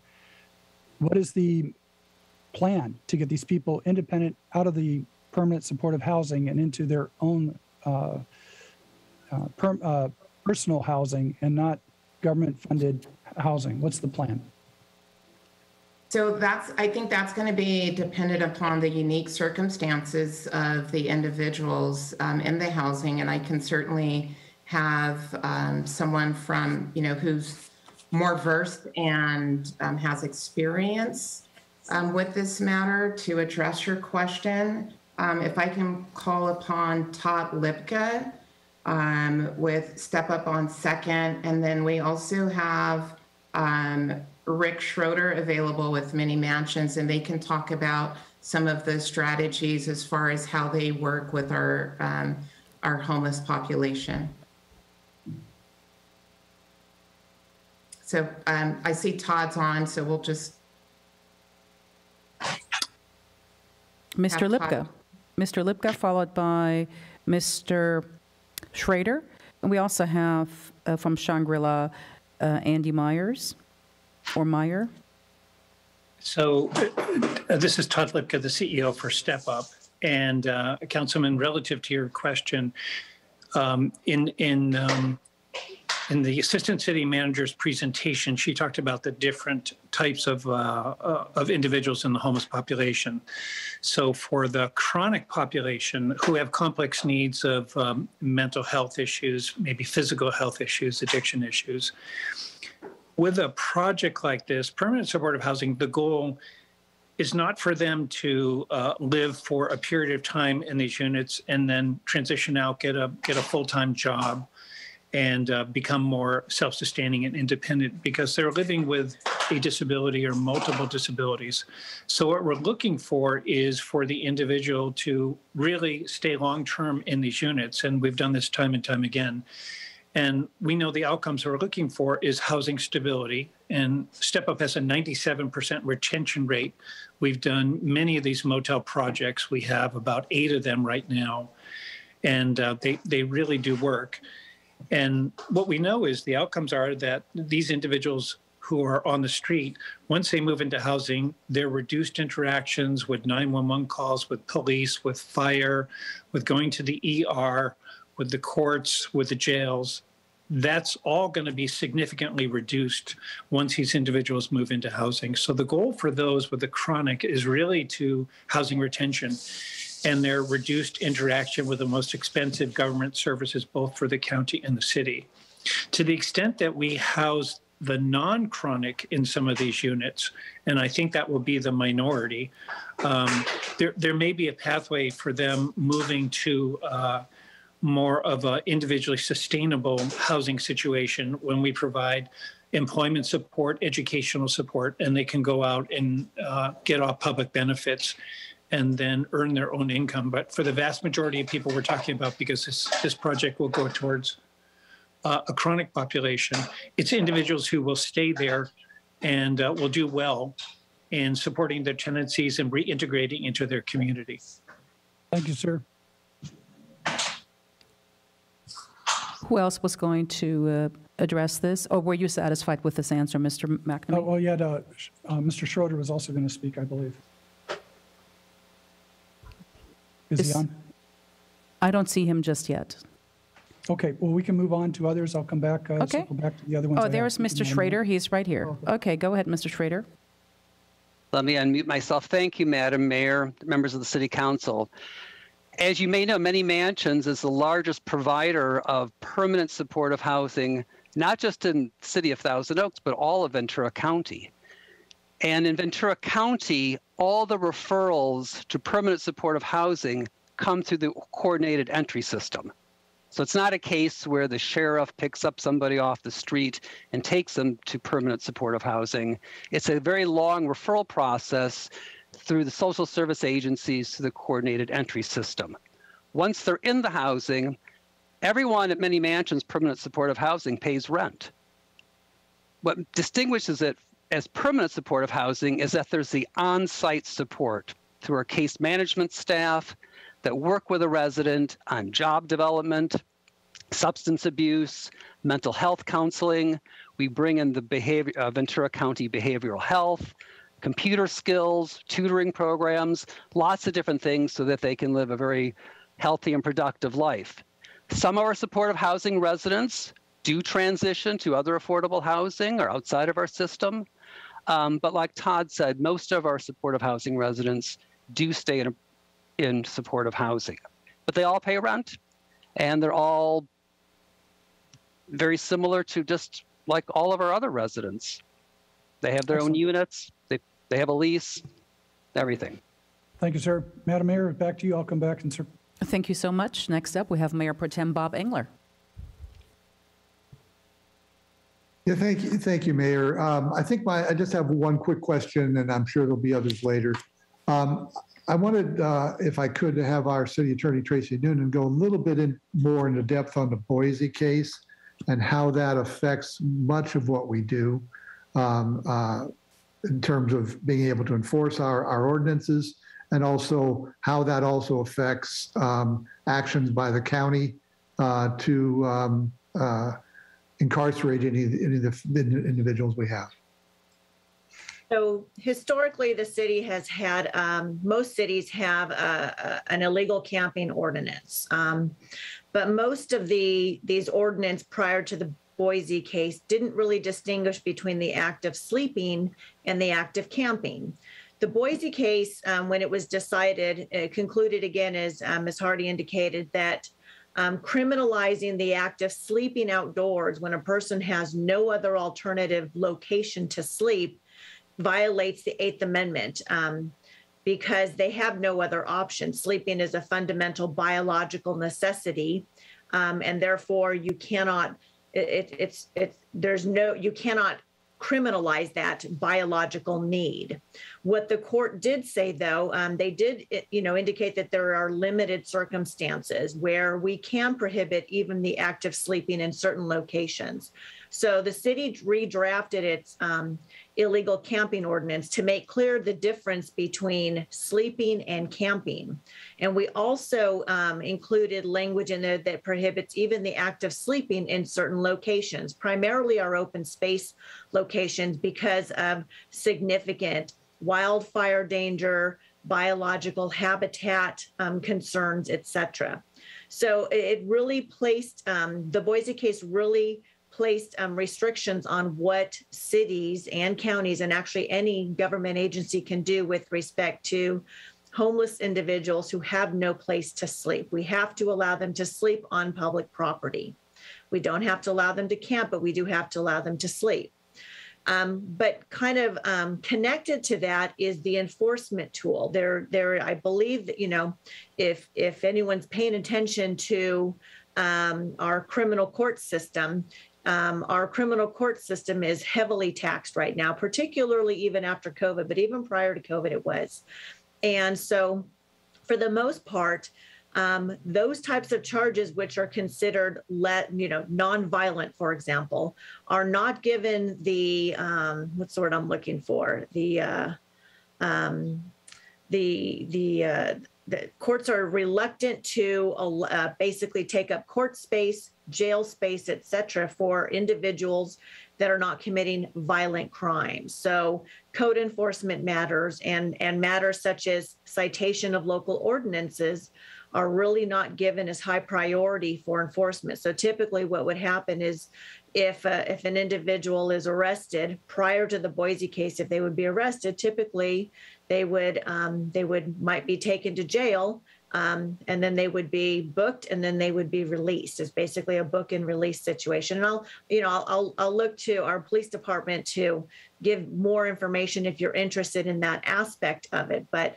for the most part it's not a matter of if we arrest someone for violating our camping ordinance that they go to jail and they spend days in jail. That's not the case at least based on my experience so I hope that answered your question. I don't know if you have any specific questions. Yeah, thank you. And I just a, a quick follow up uh, because there's some there's some discussion amongst people uh, uh, because we can all we see our encampments that we have along the freeway right of way and also in some of the uh, watershed protection district properties. Are those considered our city property where our ordinance is uh, applicable, or is that another property that uh, another agency governs? So those go, those agencies govern their own property. It's no different from our perspective of a private property owner. It might be owned by another government agency, but we don't have the authority to um, take ownership control over those properties. So if a person is sleeping on private property, if a person is sleeping on another public agency's property, the city really doesn't have the jurisdiction to completely move them out. We have to have the cooperation and the request and the support of that property owner, regardless of whether it's a private property owner or a public property owner. And then, particularly over the last year and a half, with COVID, there have been CDC um, um, ish, uh, mandates that um, that homeless encampments not be removed due to the fear over the spread of COVID. So I know that in some cases there are other public agencies that have um, decided on a policy level not to remove encampments because of the those CDC guidance provisions. Okay, thank you. I think I, I'm one question over what I said I was going to do, so I'll turn it back over to the mayor. Thank you. We will then go straight to Councilmember Al Adam. Thank you, Mayor. You know, I, I just want to say I feel um, very fortunate this evening as a council member, as part of this council, that we have this opportunity now to uh, revamp our crisis response system to homelessness here in Thousand Oaks. And we have a strong system. We have Lutheran Social Services. We have Harbor House. We have our city staff. We have TOPD, vulnerable, vulnerable population officers. But we're missing that one thing, that one thing that can really turn this situation around.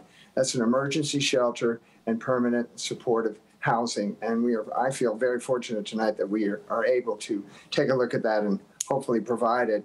Um, my question is this, if I, and this was made for Shangri-La, I recall that in the staff report, it's, if we are to pass this tonight, that Shangri-La could close on the Quality Inn in December, if I'm not mistaken.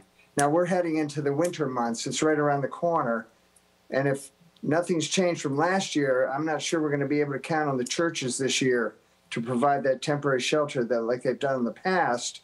So my question is, uh, if all goes well and you're able to acquire this property by December, uh, and I know I'm sure there'll be some tenant improvements that are involved and all.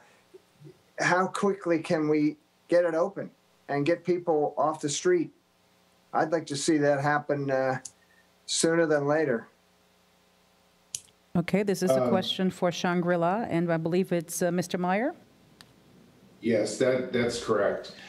Hi, I'm Andy Myers. I'm the CEO and owner of Shangri-La Industries. We are a vertically integrated developer builder. And Councilman, to answer your question, yes, currently we have the Quality Inn under contract. We can absolutely, and we are planning on closing uh, prior to the end of the year. Because we are a vertically integrated company, we're able to execute on the construction very, very quickly. We are going to be, in our current pro forma, we're contemplating bringing $11 million of our own capital and debt to the table. So as we are going through this due diligence process, um, you know, doing the need, doing all the things you need to do with the property, we're going through the architectural services too. So working with the city departments, working with your, your building and safety department, we're able to get this project to basically be permit ready by the time we close. And we'll be able to start construction working with uh, your housing authority to determine the best course of action as far as occupancy. Under Homekey Round Two, there's actually bonuses to get these projects online very, very quickly. So we would be contemplating either we could have the, the property partially occupied while we do a renovation, or we can do the renovation promptly in less than, than six months and have it fully occupied, um, permanent supportive signed off by all the local agencies and federal agencies so that you have all the units for supportive housing. But yes, in the calendar year 2022, you, under our plan, you would be able to, to house the, the entire building. Okay, well, that's what I would be looking for. I, I noticed you mentioned uh, partial occupancy. That's that's fine. Uh, that's better than none. So I, I'm just getting at, you know, I know there's some steps we have to go through here and there's some improvements you have to do, but I hope you can do that concurrently with opening those rooms up. Because the winter time is the time when our, our unhoused populations are at the most risk. And I want, I want to see those people in those rooms. Um, Madam Mayor, if I can also make one additional comment, is that the rotating winter shelter that we've had in the Conejo Valley, um, they are looking at restarting um, that program this winter. The details are not available at this time, but there is a recognition that there's that need, um, you know, in the in the short term. So um, I just wanted to share that with uh, Councilmember Adams so you know that that is an additional resource that will be potentially available.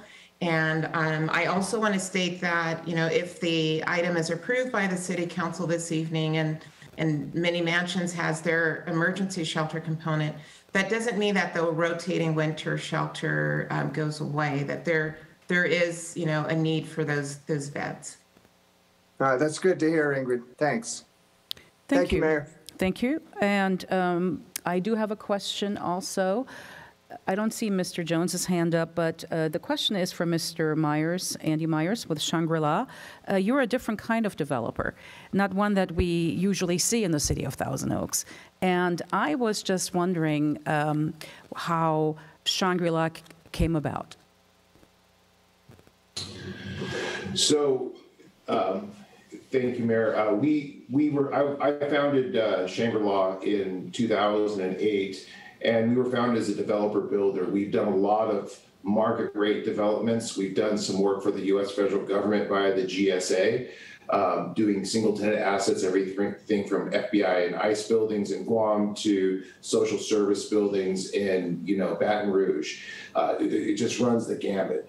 We've built some of the most prominent pro- uh, projects in the city of Los Angeles and throughout um, Southern California. And one of the things that we I became very passionate about was dealing with homelessness. And I met Todd Lipka in 2009, and we've been really focused on figuring out how to t- take all the inefficiencies out of affordable housing, in particular the cost and the time. And so, with the ability to leverage our our significant balance sheet and to partner with a service provider like Todd, we at Shangri-La really shifted gears and focused more primarily on the um, affordable housing components. And we focused a lot with homeless veterans in the beginning, and we've really been focused on the uh, at-risk population, as Todd has said uh, stated earlier. And really, the key for us is we go for wherever the need is. And Thousand Oaks is a very unique community. Being a native Southern Californian, I understand, and I, I have a lot of friends and family that live in in and or around Thousand Oaks. So we we know that we're not coming in to tell you guys what you need. We're coming in to satisfy and work with you for a need that many people in and around the community, as was um, stated by Councilman Adams, people who are living in areas that you do not have jurisdictional control over. You know, we need to that are that are basically adjacent or in Thousand Oaks. We're here to provide that permanent supportive housing, and I think. Um, what the conclusion that I came to as an individual is that I wanted to put my personal resources towards affordable housing because I think the standard way in which we do it, the, the tax credit and bond um, way, is just far too expensive and takes far too long. So we are looking at cutting out as much as 50, 60% of the cost and doing it in the fraction of, of the time. Our, our first two Homekey projects were the two most affordable projects in the state, not in rural areas. We did one in Salinas and one in San Bernardino. Uh, we, were, we were able to do those for approximately $200,000 a key. We're looking at projects here in the city of Los Angeles that are upwards of $700,000 a key the same exact product type going the tax credit and bond way. So, really, it's been my passion to see people housed, and it's been a passion of mine uh, to make sure that we, as all the taxpayers, are also getting the value for our dollar as well. So I, I, don't know. Hopefully, I answered your question, but you did. Thank you so much. I appreciate it because it is refreshing to see a developer do something different. Uh, really appreciate that. Uh, we're going back to Council Member Kevin McNamee for an additional three questions.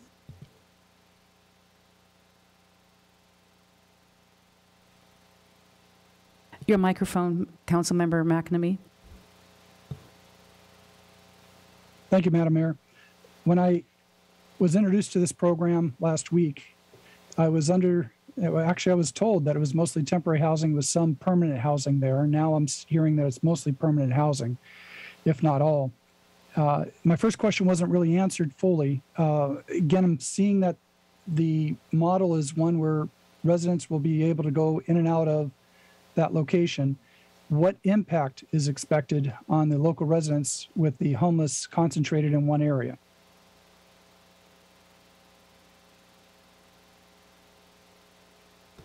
Okay. So again, I'm going to, um, you know, throw this to the experts that are on the call and that have experience developing projects and how to mitigate any impacts, if any. Um, so I am going to ask that we have Rick Schrader respond. Um, again, we do have projects locally in Thousand Oaks, and he can speak to that experience. And then um, we can have Shangri-La respond. Mm-hmm.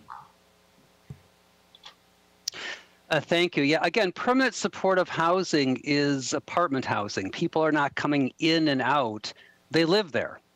Uh, nevertheless, uh, we want to make sure that the that the impact on the community is minimized. So we have on-site management. We do all the property management. Units are not overcrowded. They're not dirty. We there's no drug usage. We have drug-free housing. Um, there's no loud parties. Uh, there's very few disruptions. So these are apartment communities that are very well maintained, that are quiet, and are, I think, uh, very uh, positive for the uh, neighborhood. And I think I would simply cite uh, here in Thousand Oaks, Hillcrest Villas. It's the most beautiful building, apartment complex on Hillcrest. And yet that has 30 units of supportive housing. This is not a drop-in center for homeless people. This is a place that people live uh, every day. Um, now, if you're asking about what the how the emergency shelter is going to work, uh, that will be a different type of thing. That will be temporary housing. There'll be securities. There'll be there'll be on-site staff 24/7. There will be uh, quite a bit of uh, structure as to where they can go, what they're doing, uh, the type of they can't have visitors, they can't use drugs, they can't do this, they can't do that. So that'll be a much more regulated environment. And that's one of the reasons that we wanted to partner with Turning Point, who runs such an emergency shelter, um, because they, they know a lot better uh, than we do. In, in terms of permanent housing, permanent supportive housing, the Quality Inn, that's where people live. That's going to be an apartment complex. So let me come back to the question of how many people are going to be served and how much of that is permanent housing, permanent supportive housing, how much is, is emergency temporary housing? Yeah, I'll just briefly, my understanding, what, what we're looking at based on the request for qualifications is an apartment, is a uh, motel that we can convert to perhaps 70% of the beds as permanent supportive housing and 30% as emergency housing. So approximately around 20 beds, 30 beds, no more than that as emergency. So we're looking at a total of 100 total units with 70 being permanent and 20, 30 being emergency, correct? I, I believe, yes. And we'll, again, 80% of the drug or the um, homeless out there are, are, are suffering with every day drug, drug addiction, mental illness, and uh, they, they need those kind of treatments to help sustain themselves and get hopefully job training to become independent. Is that something that's going to be available for both the emergency shelter as well as the permanent uh, supportive? I'll speak on behalf of many mansions. Absolutely, that is really one of the the, the benefits of having a permanent year-round sh- shelter or housing because there you have a location that you can provide those services your own case management staff you can get the county agencies involved other health providers it's hard to treat people when they're living in encampments and under bridges but when they're there uh, you can treat them. You can get them the support that they need. You can get them the counseling that they need, uh, the drug rehab, substance abuse, things like that. Uh, but I could let Todd and, and others talk about that. But that is definitely one of the advantages of having this type of permanent uh, housing and interim housing. Thank you. I wanted to ask Mr. Jones. Mr. Jones, did you have any questions? I see you don't have your hand up, but you unmuted yourself. Yeah, I, I have a quick question. I've heard from some of the, our people here that they're concerned about uh, uh, what is the effect of building shelters in terms are are we attracting uh, more homeless people to come here? Like you know, if you build it, they will come.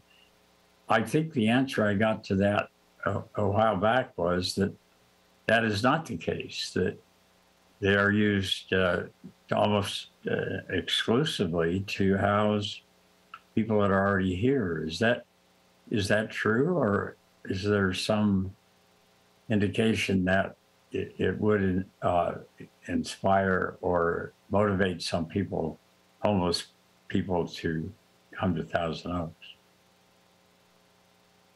I, I can answer that. Again, we're the largest provider of permanent supportive housing. Overwhelmingly, our housing in Thousand Oaks is populated by people from Thousand Oaks that have lived here, grew up here, work here. Our supportive housing in Oxnard, people from Oxnard. Simi Valley, people from Simi Valley. Nobody even wants to travel from Oxnard to Simi Valley. We get very few people coming from out of county. That's our experience. Yeah, well, that's the answer I heard before. I just wanted to have somebody reiterate that. Yeah. To make sure that that is the case. One thing I've heard tonight that really hit home with me because I, uh, let's face it, I know, I don't, don't know, but I imagine that most of us on the council occasionally hear from people complaining about the homeless camps and so forth. Uh, I think that that uh, they ought to have the same level of compassion that is permeating this discussion tonight. And I really like to hear that being homeless is no crime. Because I think some people have that mental outlook. Uh, and it's not correct. Uh, I, I believe that this is a an effort that we all ought to be in together. Um, and I really, really would uh, compliment everybody that's spoken. I'd like to compliment Ingrid on the quality of the uh, presentation that she made and all the material that she uh, worked on. I, I don't know how you do that, Ingrid. I'd hate to have that job. So my hats off to you. Thank you, Madam Mayor. Um, Thank you. Um, Mrs. Hardy, I do have a question about page 13 or slide 13. What is the exact percentage of the current homeless population in the city of Thousand Oaks where the unhoused have substance abuse problems? It says here 25, but um, just overall. So I'm, I'm, pardon me, Mayor, looking through my notes, but if you're um, on the slide where the subpopulation data is listed, that information is self-reported. Um, and So the, the total percentage of Yeah. unhoused who have substance abuse problems in the city of Thousand Oaks? yes, we have 25%. But- And again, that data is, is self-reported, and that's from our last point in time count. Okay, and I wanted to ask the deputies, uh, Chief Paris or Deputy Richter, uh, what is your experience or knowledge of the percentage of unhoused who have substance abuse problems? I don't have the exact uh, number, but I could uh, I could get that for you if you're asking for just my best guesstimate. Um, I, I would I would say it would be somewhere between uh, 25 to 50 percent, but I can get that number for you. Thank you. Okay, so that is within the realm of what was reported in the, um, um, on, on slide 13. Okay, thank you very much. Uh, Let's see, we do have a long list of speakers. We have 25 speakers. And I do see two more hands up, so we're going back to Councilmember McNamee with uh, three questions, and then Mayor Pro Tem Bob Engler with three. Madam Mayor, may I ask if we could have a five-minute break after uh, uh, Councilman McNamee's uh, questions? Well, Yeah. Councilmember Jones, why don't we do that now and we'll come back so that way uh, you'll be more comfortable. Is that all right? It's fine with me. Is Okay, okay we'll with you, we'll take, Mayor? we'll take a quick break then. Thank you.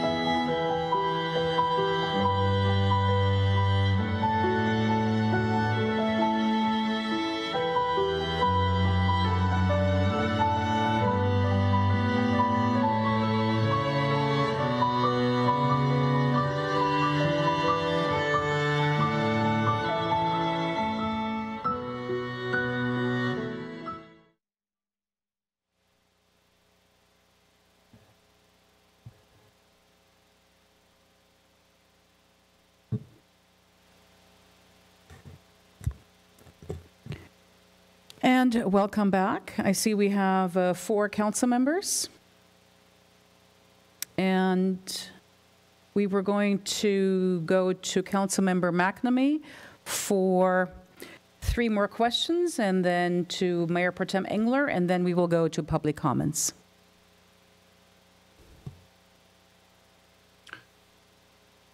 Thank you, Madam Mayor. I'd like to ask that the residents are going to be paying rent, uh, lease the prop, lease their units. Where do they get their money from? Uh, again, are they given jobs? Is it coming from state taxpayers subsidized from the state? Where do the income come from in order to provide that lease payment? Mrs. Hardy?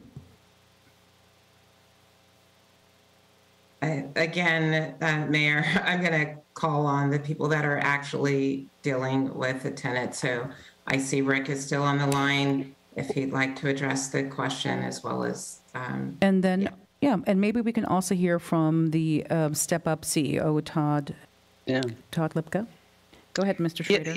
Yeah, very briefly. I mean, our residents have a variety of sources of income. Some do have jobs, uh, some do work.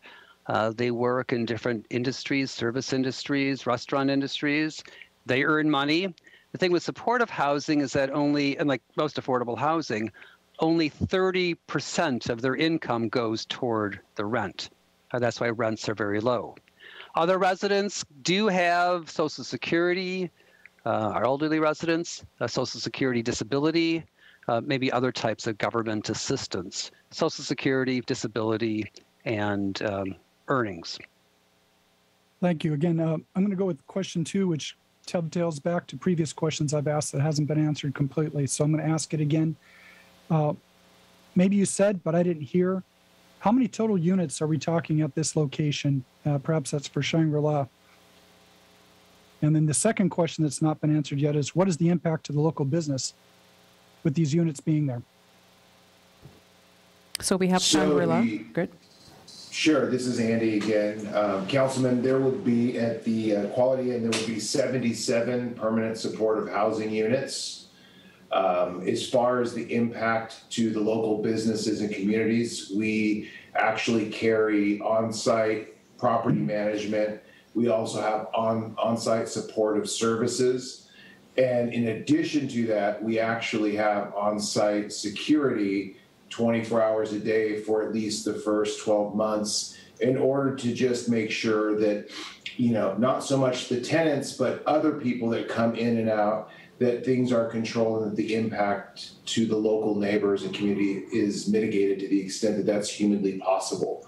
Um, I think as, as has been stated, we work very, very hard to make sure that everybody gets assimilated into housing and permanent supportive housing being really the key. So um, I, I don't know how else to, to answer that. I think maybe Todd Lipka from Step Up would be um, can give you a more in-depth answer. We're we're focused on the development side and the construction, and Todd is the service provider as well as the building manager. Thank you. Uh, do we have Mr. Lipka? I see he's still with us, but he's not on camera or microphone. Todd, are you available? Not sure if he can hear us. Yes. Yes, go ahead.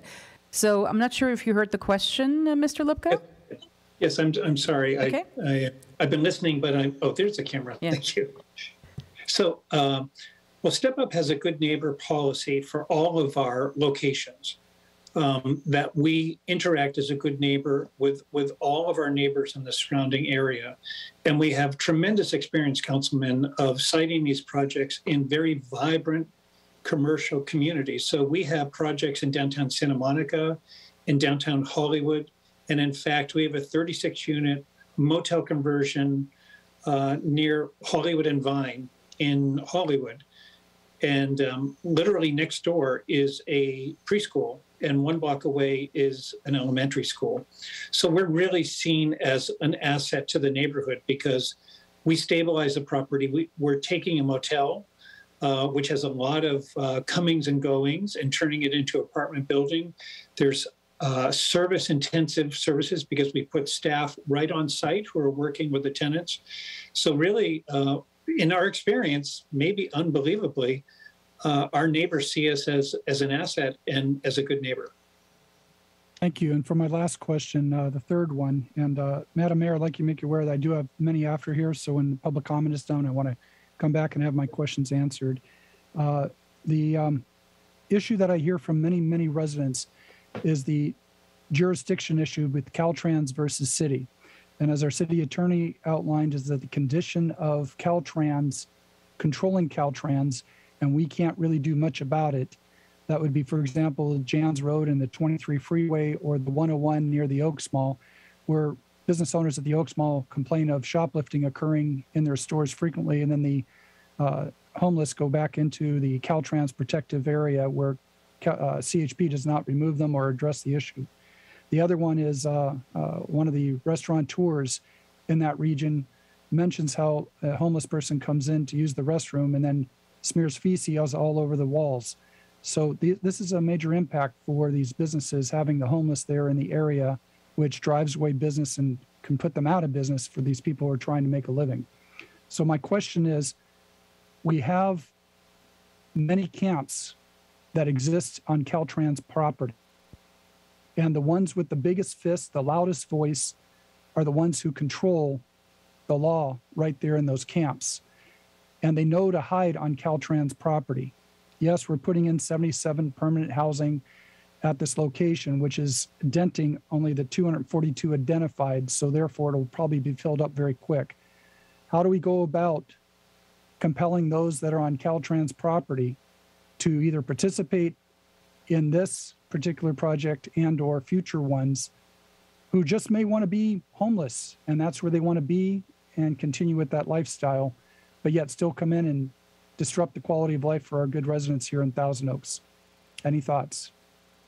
Um, Madam Mayor, I can uh, take that question. Um, we have actually been in regular conversations with Caltrans, um, and particularly as it relates to their um, policy on how they address homeless encampments. And one thing that they have made very clear with um, the city, with TOPD and other stakeholders that have participated in these meetings is that they will cooperate with cities so long as there is a place to send the individuals living in those encampments for housing. And in our last discussion, I did share um, with Caltrans, it was probably a good four to six weeks ago, that we were working on an item to go to the city council for consideration of emergency shelter and permanent supportive housing. And at that time, they indicated that they would um, work in conjunction with our law enforcement and with the city um, to provide housing. Uh, or to move the individuals from the encampments um, into to housing. They just want to make sure that that resource is available. One thing that I will check as well is I believe that the state has appropriated dollars to help deal with encampments, but I want to track that down first um, and before um, confirming that with you. But they are aware that it is an issue across the state. They Caltrans has a way of um, I providing a priority level. That's what they call them, priority levels to the encampments. And so we are working closely with them to address our local encampment challenges. Ms. Hardy, let me, um, the numbers aren't adding up for me. We only have 77 at this particular facility we're talking about right now, with 242 in the city itself. So those 77 are going to be consumed, and we won't have any other place to put the remaining. So Caltrans then will not come in with CHP to remove them from Caltrans property because we have no place to put them. Is that is that a fair assessment? Well, currently, you know, Shangri-La did mention that there are 77 units at the Quality Inn and Suites, and then there also will be the units that are being pursued by Many Mansions.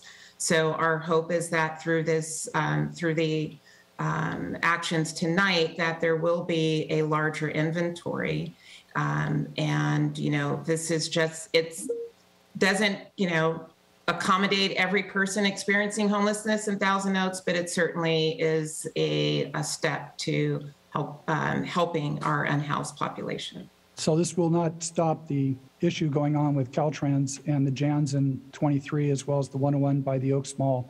Because again, until we get enough permanent supportive housing, Caltrans isn't going to be able to do anything for us with uh, CHP to address those homeless on their property. Uh, Again, I just want to make sure I'm clear on that. Can, can I weigh, can I weigh in, Ingrid? Oh. Do you mind if I weigh in real quick? I- I- Yes. Yes, Jeremy, and then I'll, I'll make a comment. Thank you. Yeah, so um, right now, if we're going to arrest somebody on Caltrans property, Caltrans has to be willing to prosecute that person. And that's because it's a trespassing on their property. And that's part of the issue here is because of the COVID restrictions and stuff, they're not willing to do that. We anticipate that once those COVID restrictions are in place. And then the other issue comes in if, as a state agency, if they're signing for trespassing, I'm sure their lawyers are advising that they're going to be coming under the uh, purview of Boise Martin in doing that, and they're concerned about that. So I, I, I think the, the goal here is, right, we have a tool in these shelters, and once we have beds available, we'll be able to enforce again, and we will get the cooperation of those state agency as well. And, to- and to give a little bit of kind of an indication of the, where their cooperation is going, they have assigned a CHP officer out of the Moorpark Station to be uh, a liaison officer on the homeless uh, front, which is which is a good sign for us that the state is at, at least uh, putting some efforts forward uh, here in, in working on it. So we just don't have any tools right now, and this will give us tools to be able to address some of these issues. And once the COVID um, situation's over, and then we have dealt with the Boise Martin restrictions we have, we should be able to have some tools to move forward, even on the Cal- Caltrans properties. And the other comment that, thank you, Chief. The other comment that I would make to that is, um, you know, some of the other communities are leaving beds available for law enforcement so that there is that tool available um, to enforce as needed and to get individuals into a shelter. Um, and then the second comment that I would make is that the uh, one of the things I mentioned earlier in the presentation is that the shelter is designed to be temporary. And so if you have individuals in a shelter and they're moving on to permanent housing solutions, be that, you know, going back with a family, reuniting with their family or entering permanent supportive housing, um, obtaining rental assistance, whatever that permanent housing solution may be, ideally there's that pathway for um, a person experiencing homelessness to go from a shelter into uh, a permanent housing situation. Thank, thank you, Ms. Hardy. Mayor Pro Tem Engler, please. Yeah, Thank you, Madam Mayor. Um, Councilmember McNamee uh, said something that uh, caught my attention, and I just want to get some clarification, if I could, from our, our police officers. Um, He mentioned that perhaps there was some criminal activity that occurred, and we had to wait for CHP to become involved. Is that, is that the, the standard operation pr- pr- procedure for the sheriff, is to wait for, um, you know, uh, uh, CHP if it's criminal activity, such as that unfortunate, uh, I didn't say that. Um, I- I'm I'm sorry, did I, No, I didn't say that. What I said is that for our local city police to go onto Caltrans property to uh, address the homeless issue there, it's. oh, I see. I, I, I thought you- were saying somebody. I, I- I thought you were saying someone had uh, stolen things out of the mall and then went onto the property and we had to wait. Is that? No, that's, no, that's not what I was saying. No, no. Our, our sheriff, I'm sorry, I I misunderstood you then. I misunderstood you. Um, I, I'm, I'm assuming that our sheriffs can go on, on Caltrans property, make arrests for criminal activity, correct? Yeah, that is correct. There's things like trespassing where they, the state would have to sign, um, basically, we call it signing, but basically have to be willing to prosecute. Those are the things that we wait on the state for. Doesn't stop us from going and enforcing, enforcing laws on that property. Okay, that, that's reassuring. Thank you for that. And then, uh, hello? Go ahead, go ahead. I'm, I'm, I'm sorry. Um, Then a, a couple of questions for our, for our, um, our provider, uh, or projected providers. And I appreciate what uh, Councilman McNamee is saying as far as impacts on, on the neighborhood, um, although it's mainly commercial in that area. Um, in your experience, and I'm glad we have two professional groups that can answer this. type. In your experience, have you seen um, an, uh, problems that affect the neighbors? Uh, and uh, have you been able to um, mollify any of those issues? And either either either, uh, either group can go. Todd, why don't you go first? Sorry. Uh, This is Todd. Um, You know, generally, we don't see uh, issues. We really have a strong presence when these projects open up, really to provide intensive support to each individual. Uh, I, I will say these individuals go through a process, but it's it's quite a private adjustment process. You know, they've they've acquired a tremendous amount of skills to survive on the street in a state of homelessness, and there's a big adjustment that they go through. Um, but that's mostly, you know, it's like learning to sleep in the bed. How do you clean an apartment? So that's what the staff do. What we do find is that if there are going to be issues, it's generally going to be caused by them bringing homeless friends from the street into their unit. So we have a very strong presence on site at the beginning of lease up, even before lease up, to ensure that we monitor that very quickly. Andy talked about we have a security presence. Um, we have people live on site as well as people work on site. So it's pretty intensive as a way to discourage that from happening. You know, I can't say nothing ever happens, but it's not very common, and it's usually in the the first couple months of the project. And then we really encourage our neighbors. You know, we we reach out to them. They can call us directly. They'll have the numbers of staff on site. So if there's any issue, uh, they can call us, and, and we'll respond to it very very quickly. But we have a, a really, uh, quite honestly, a fabulous track record in this area. Okay, and then um, Mr. Schroeder, uh, Schrader, uh, do you have uh, other input on that as well? I do. I mean, I completely agree with Todd. I think one of the challenges, especially in, in supportive housing, our residents are the most quiet. The challenge is, is actually getting them out of their apartment unit.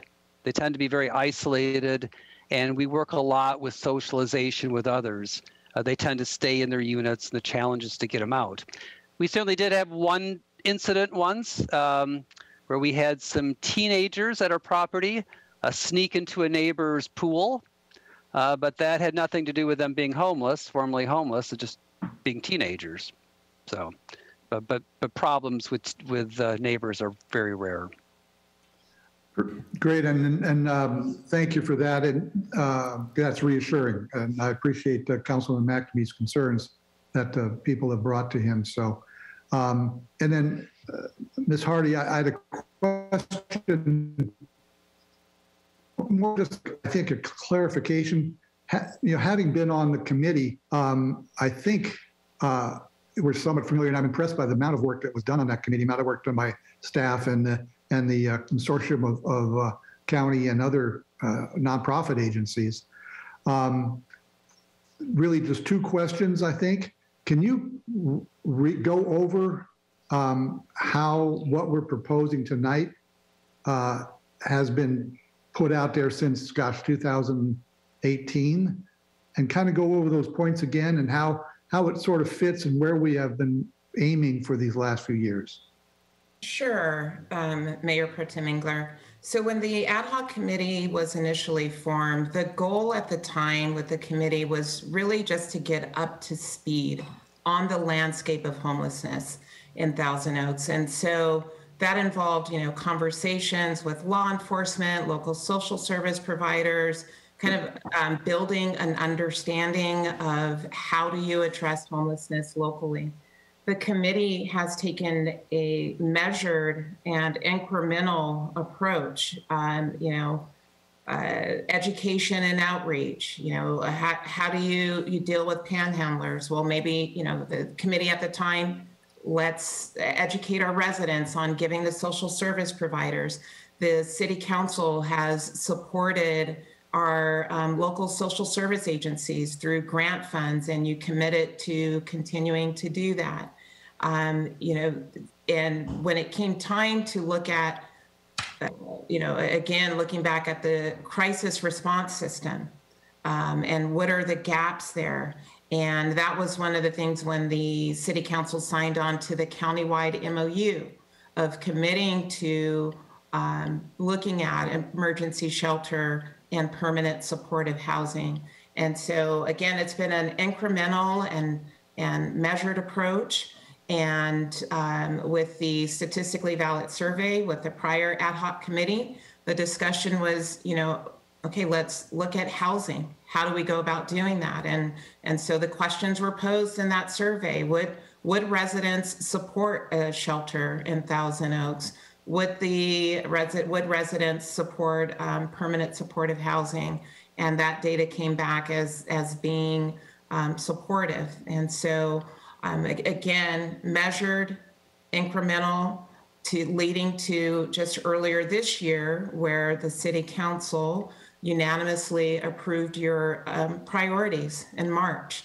And the number two priority um, that was adopted by the city council is to identify and advance solutions for emergency shelter and permanent supportive housing in Thousand Oaks. And then finally, with the committee's update this um, past June, um, staff did inform that the city council that in alignment with your priority that we would release an RFQ to identify a developer operator for emergency shelter and permanent supportive housing. And that has led to the uh, recommendations before you this evening. Um, we didn't go into the process expecting to find two, um, but that is our, again, our recommendation tonight to help meet, um, you know, the needs locally and to address your adopted priority. Thank you. I think that's my third question, so I'll save any others for later. Thank you Ms. so Madam Mayor. Thank you so much. Um, I appreciate that there are additional questions from council members, but we really need to go to our public speakers. We have, as of now, 25, so I don't want them to wait any longer. Um, I will begin with Denise Cortez, who is joining us via video. She's the executive director of Harbor House. Uh, we have already heard from Rick Schroeder, who or Schrader, who was supposed to be after Den- Denise. So, um, but at any rate, go ahead, Ms. Cortez.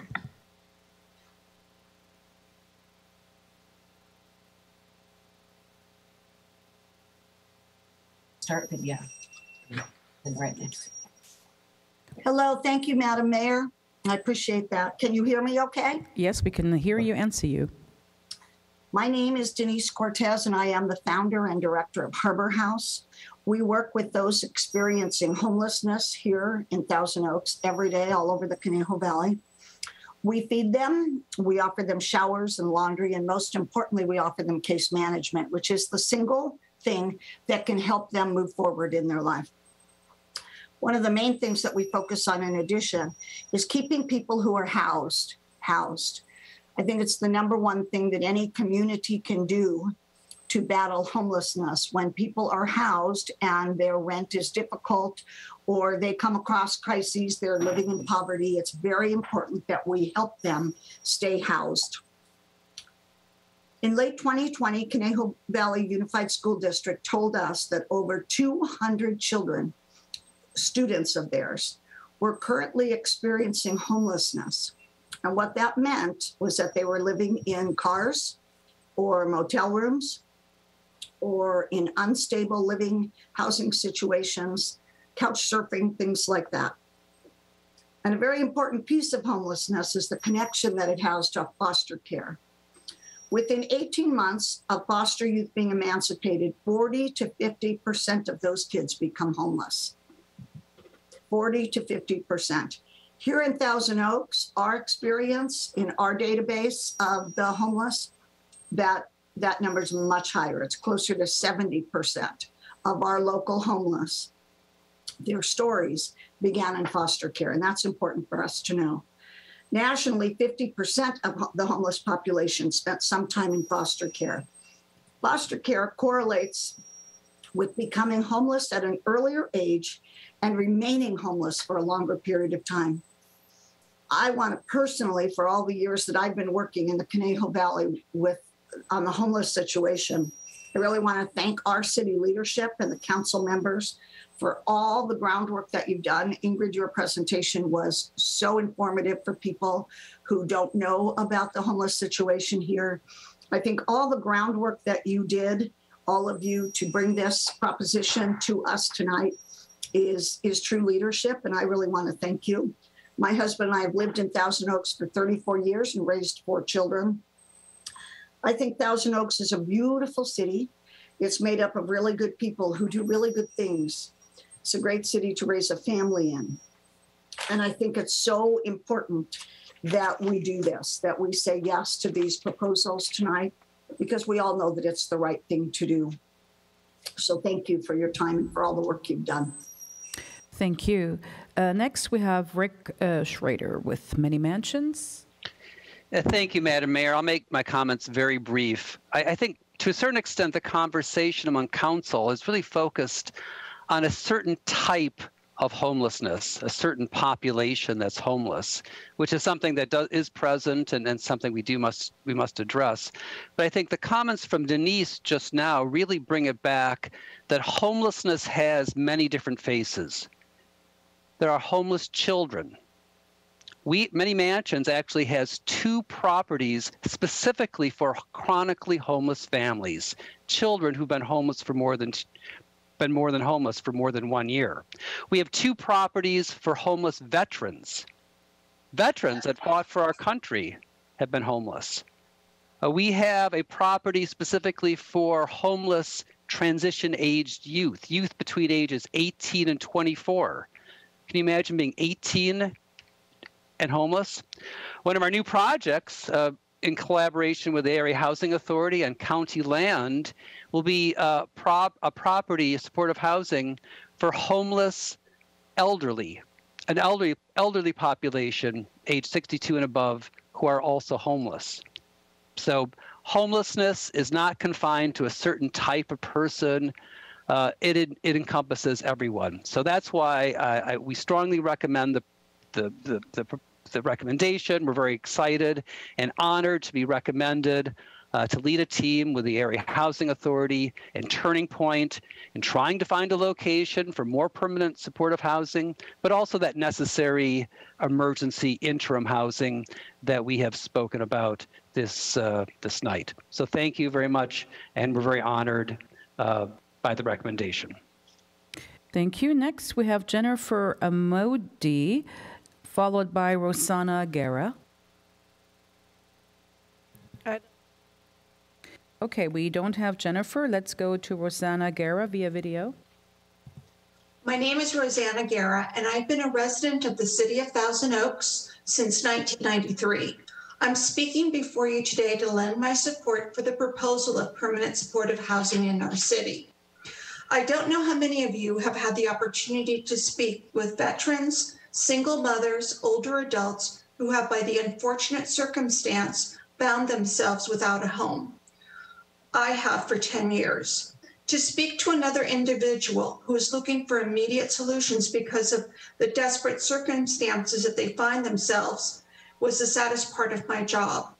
To have to tell homeless families, older adults, that there are no alternatives and have to break and, and hear them break down and cry made my search for answers, made me search for answers. Where can someone stay overnight where they wouldn't be noticed? Where can someone sleep and be safe and not call attention to themselves? How I, is how I managed to help because no other solutions existed. Trying to inspire hope in a hopeless situation is quite a task. There is something inherently dehumanizing about being homeless. I'm hopeful that with the approval of this proposal, the city is truly seeing those that are the most vulnerable among us and offering them a safe, loving, and hopeful future. Thank you. Next, we have Beverly Wirtz, followed by Allison Gray.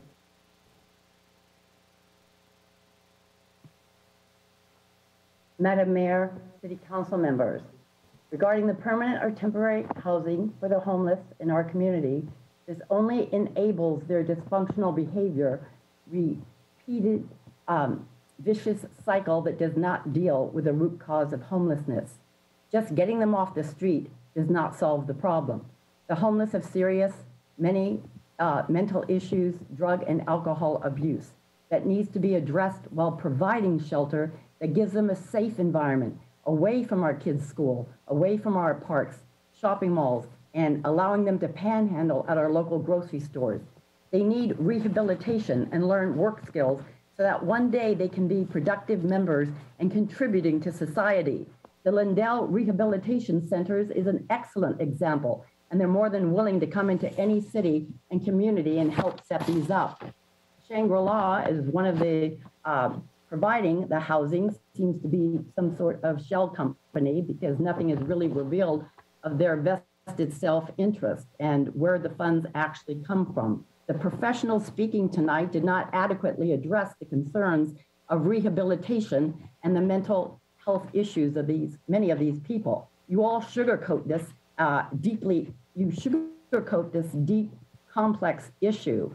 These speakers talk of the homeless as being temporary, uh, down and out, but does not address the vagrants, the homeless that I see around town, up the street within walking distance uh, of the local strip mall, panhandling in front of CVS and the local grocery store. Uh, the homeless, uh, I've even seen them fall off the uh, sidewalk into oncoming traffic. And um, it's a lie saying that these homeless are longtime uh, Thousand Oaks residents. These are deranged, mentally ill adults uh, on drugs and alcohol. I see them in front of my grocery store, CVS. Um, these are not long-time Thousand Oaks residents going through my trash can every uh, Sunday night when the trash cans are put out. With all the government handouts, the Section 8 stimulus checks, welfare, money, food stamps, etc., there should be no homeless. If I gave away permanent housing, I would have 90% retention rate too. That proves nothing. Allison Gray, followed by Elizabeth McDonnell.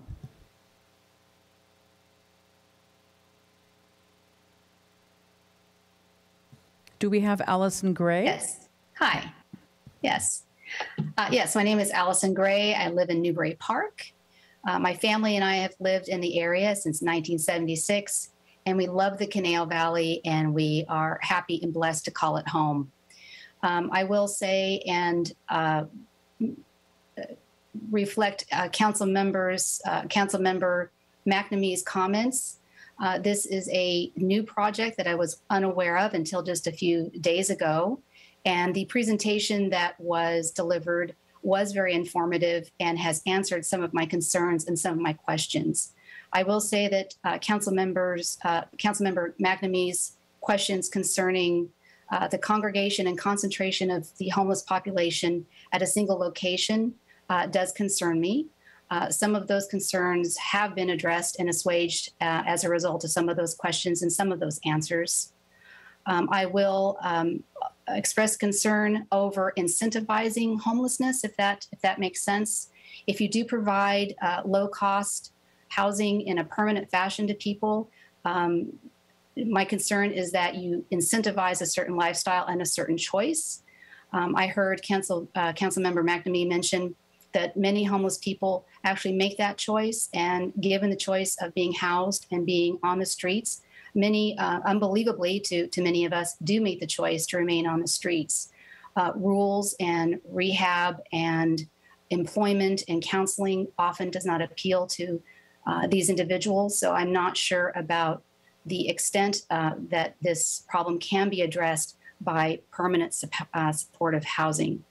I would be curious to know the success rate where the uh, the permanent supportive housing has been implemented in other cities I have heard that is it has a, a great success, but I'm wondering what the numbers are. If there's a before and an after, some kind of a statistical proof of that success. If we have about 242 individuals unhoused now in the city, what might we have as a success rate of seeing a visible improvement in our city? A reduction of encampments, a reduction of people loitering on our street corners, the CVS that was mentioned earlier on Moorpark, and I think it's uh, Thousand Oaks Boulevard. There are some locations in particular where uh, the homeless are visible and they wander into traffic. That happened to me a few months back. where a homeless person uh, lurched into traffic. Several drivers had to swerve to avoid this person.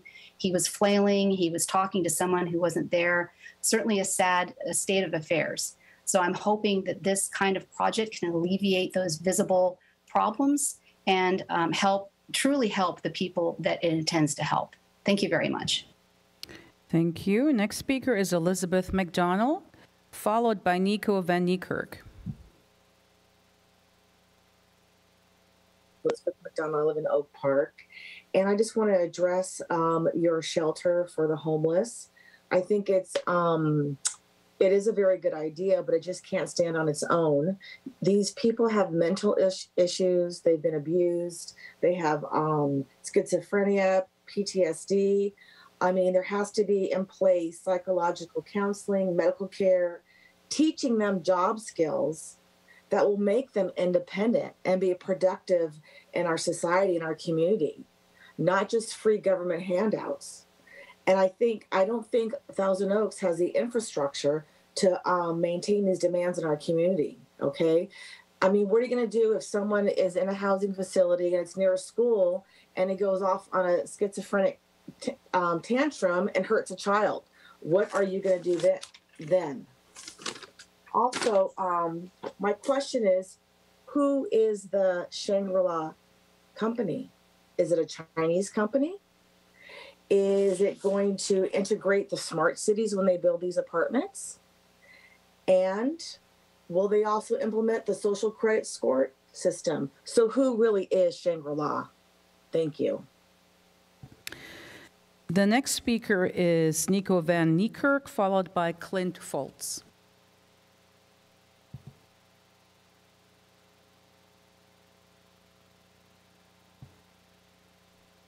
Do we have Nico? Nope. Hello. Are you there? Hello. Yes, I. Good evening. Yes, Can you hear me? Yes. Okay. Um, let me just click here. I'm Nico Van Niekerk, a 30-year resident of Thousand Oaks. I want to offer my opinion about the homeless issue, which is a serious issue, and it is encouraging that the city is addressing this issue head, head on. I was quite surprised by uh, the, um, the, the presentations tonight. If I understand the work of the ad hoc committee correctly, of course, it is to be expected that homeless accommodation within the city will create friction with neighbors of the homeless shelters for a variety of, reasons. It's not always a lack of compassion. But property prices are influenced by the immediate neighborhood. There's nothing we can do about that.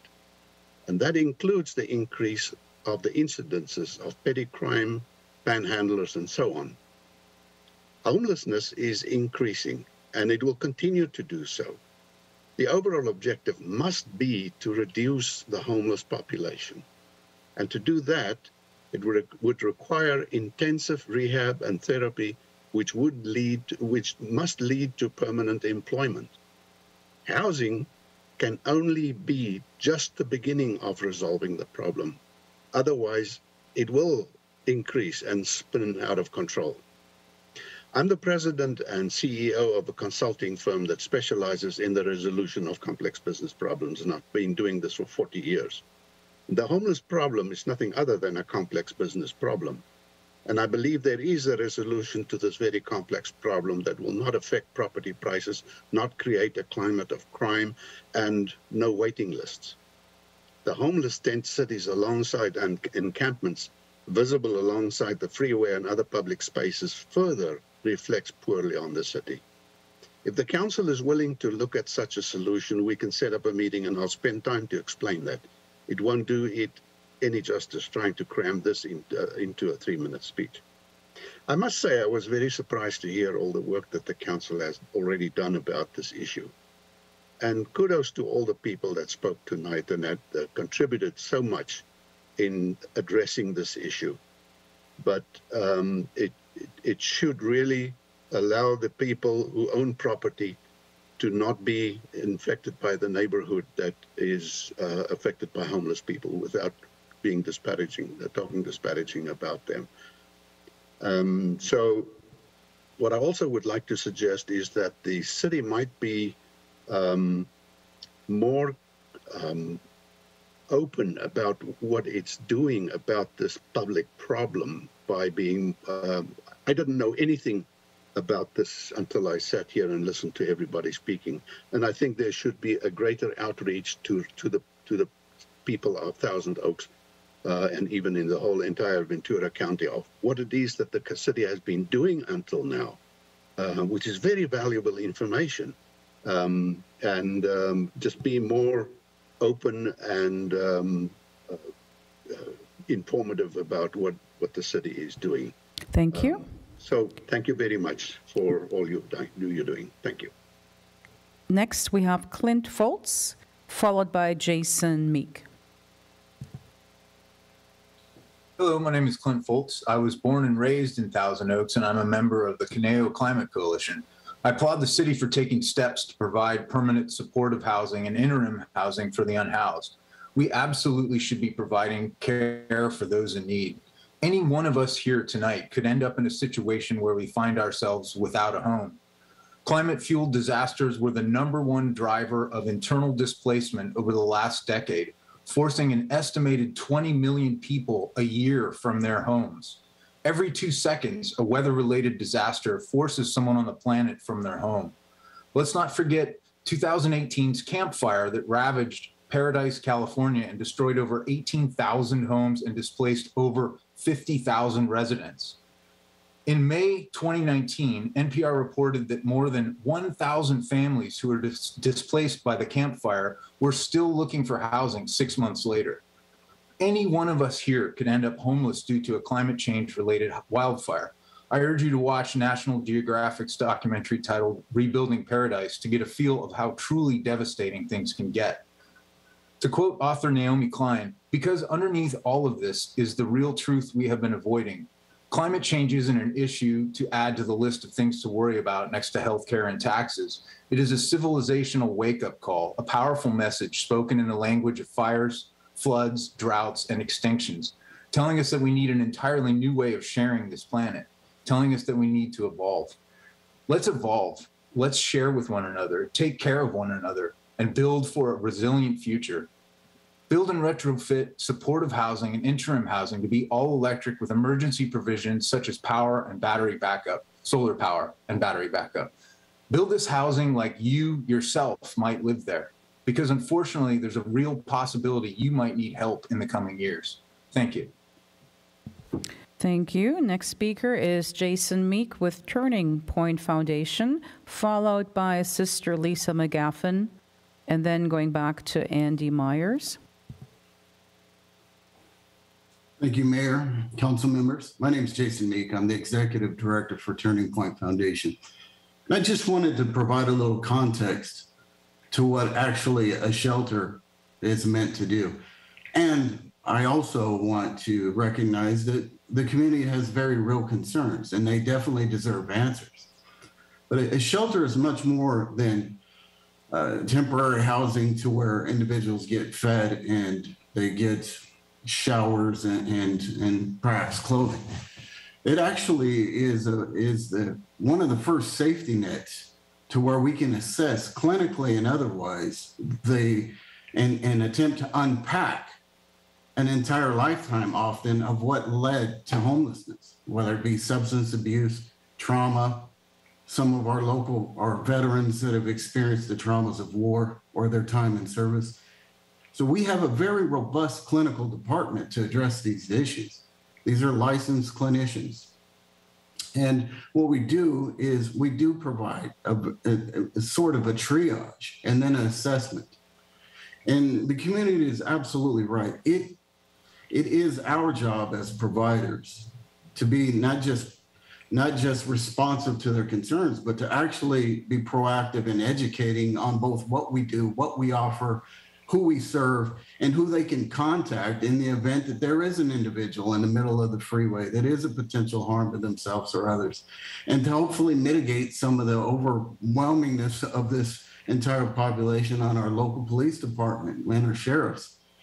So it is much more involved than simply providing food and clothing and a place to sleep. And it also, it frames individuals to get prepared for permanent supportive housing, which many mansions has an, an amazing proven track record on doing that.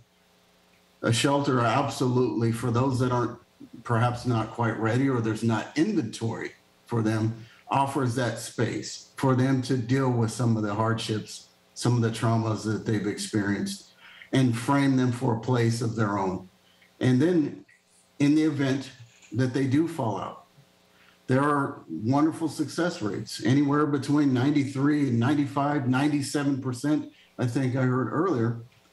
There still a small percentage that, that aren't quite uh, ready for that type of living environment. And where do they go? We certainly don't want them back on the streets, and the shelter will certainly provide that step down and in a way that they can get the support and care that they need. Um, so these are very real concerns. Uh, what we have done in the past is we've been a community partner first. And what we do is we meet with local businesses and neighboring communities. And we do offer education on what we do, who we do it for, and how we can help, how we can be proactive. So thank you for your time. Thank you for this consideration. These are Thousand Oaks community members. All this, all the data indicates that the vast majority are. I, I've, I've, I've done this in many populations, and it usually is a local issue, and um, we will provide local solutions. Thank you. Thank you. Next, we have Sister Lisa McGaffin, then Andy Myers, and then Louise Coronado. Good evening, uh, Mayor Bill De La Pena and council members. I'm Sister Lisa McGaffin, and I've been privileged to be a board member for Many Mansions since 1995. And I'm here tonight to support agenda items 13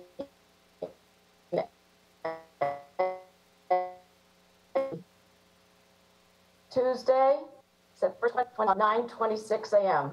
I was driving west on Janss Road, and near the on-ramp to the northbound 23, I saw something moving in the bushes. It was a person covered with a large tarp, as if trying to get warm and comfortable while lying on the ground. I will call him Jan's Man. This past spring, you voted unanimously on the city-wide goals for 2021 through 2023. Your first goal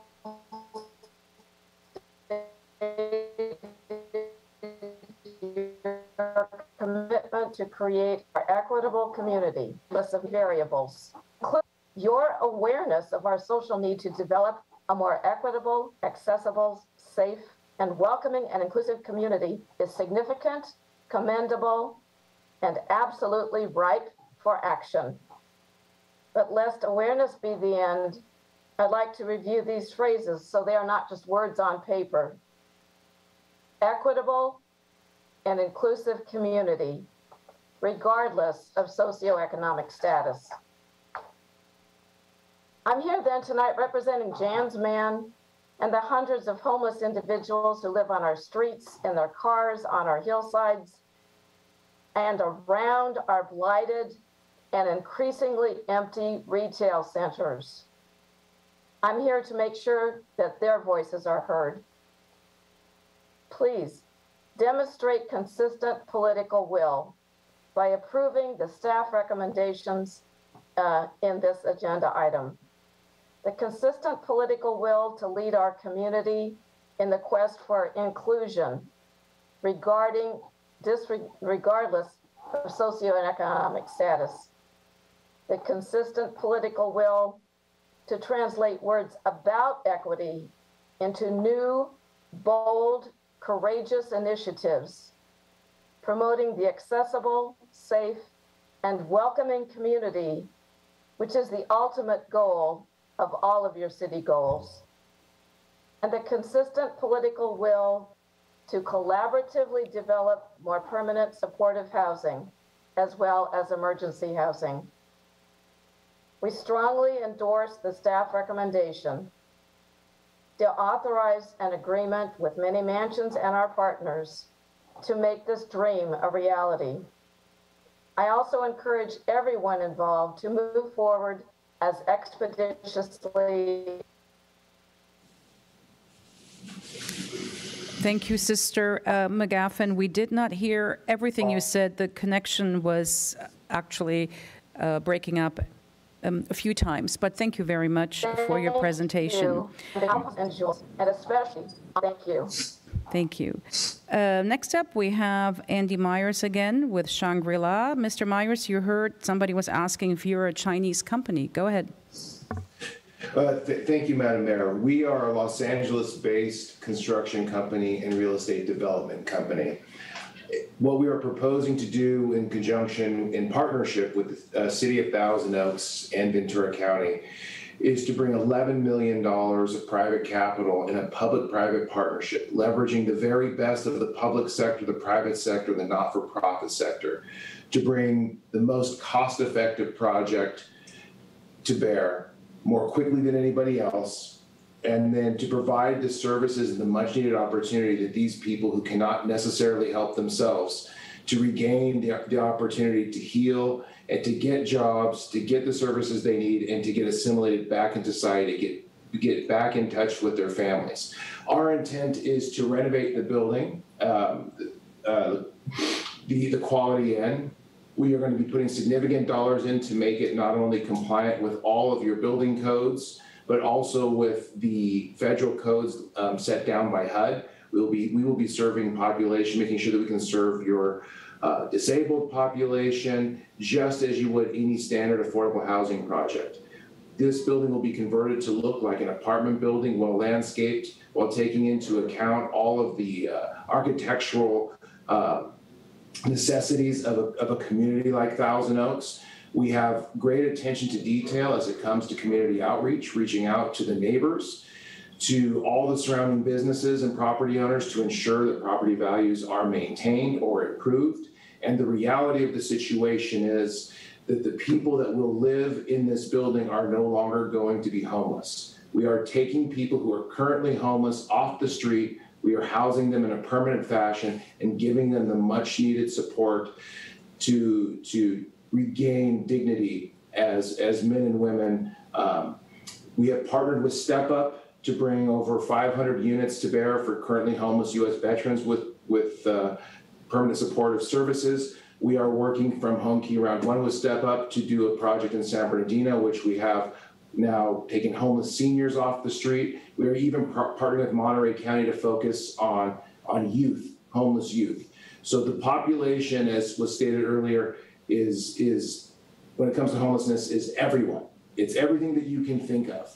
And so with this project, we we request that you approve our partnership with Step Up and of course also with with Many Mansions and give us an opportunity to really showcase to the rest of the country what can be done when the public sector, the private sector, the not-for-profit sector come together um, for a common mission and goal, which is to make our communities better. Thank you.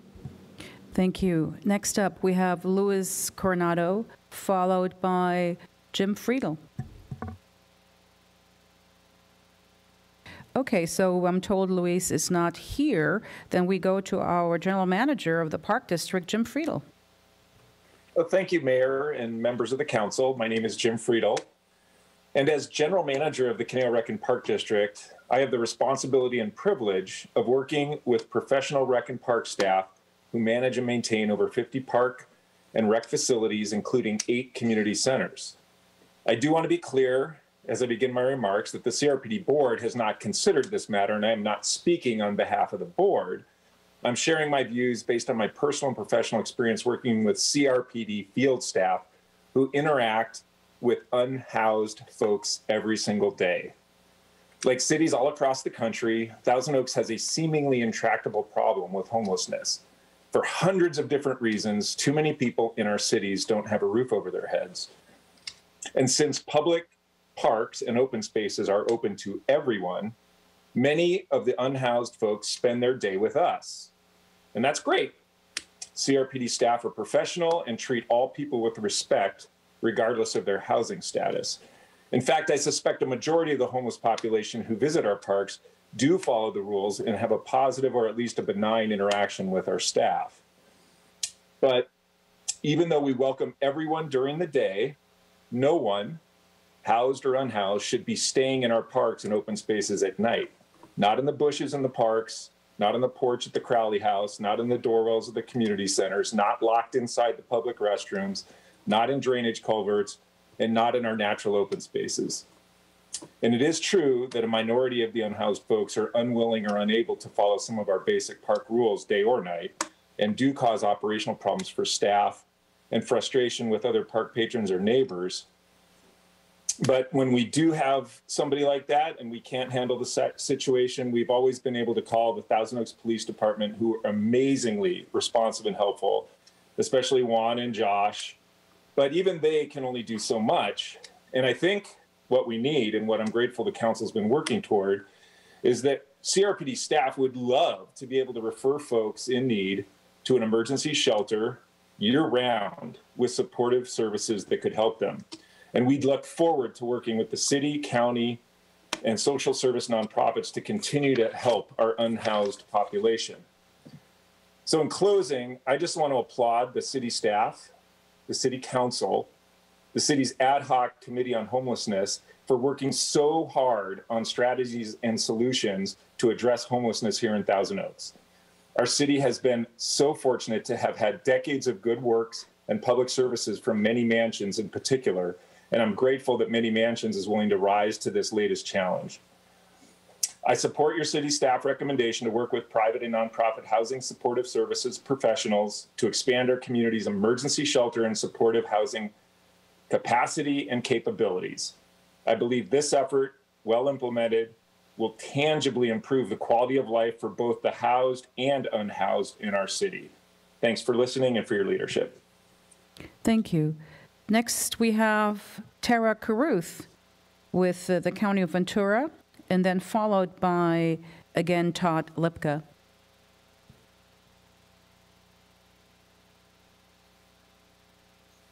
Madam Mayor, I believe that Tara was just signed up to respond to questions. Okay. I think she got added as a public speaker by accident. There you are. Okay, no problem. Thank you.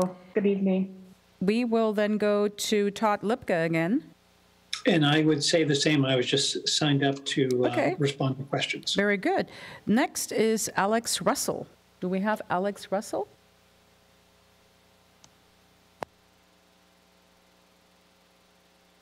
Alex Russell? Do we have him or her?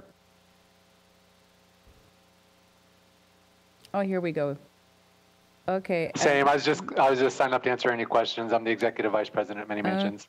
Okay, great. Uh, next, we have, I'm not sure if Michael Nye is with us this evening. He's not. Okay. Yeah. Uh, well, then we move on to Kyle Rohrbach. And after Kyle, Rena Sepulveda. Do we have Kyle?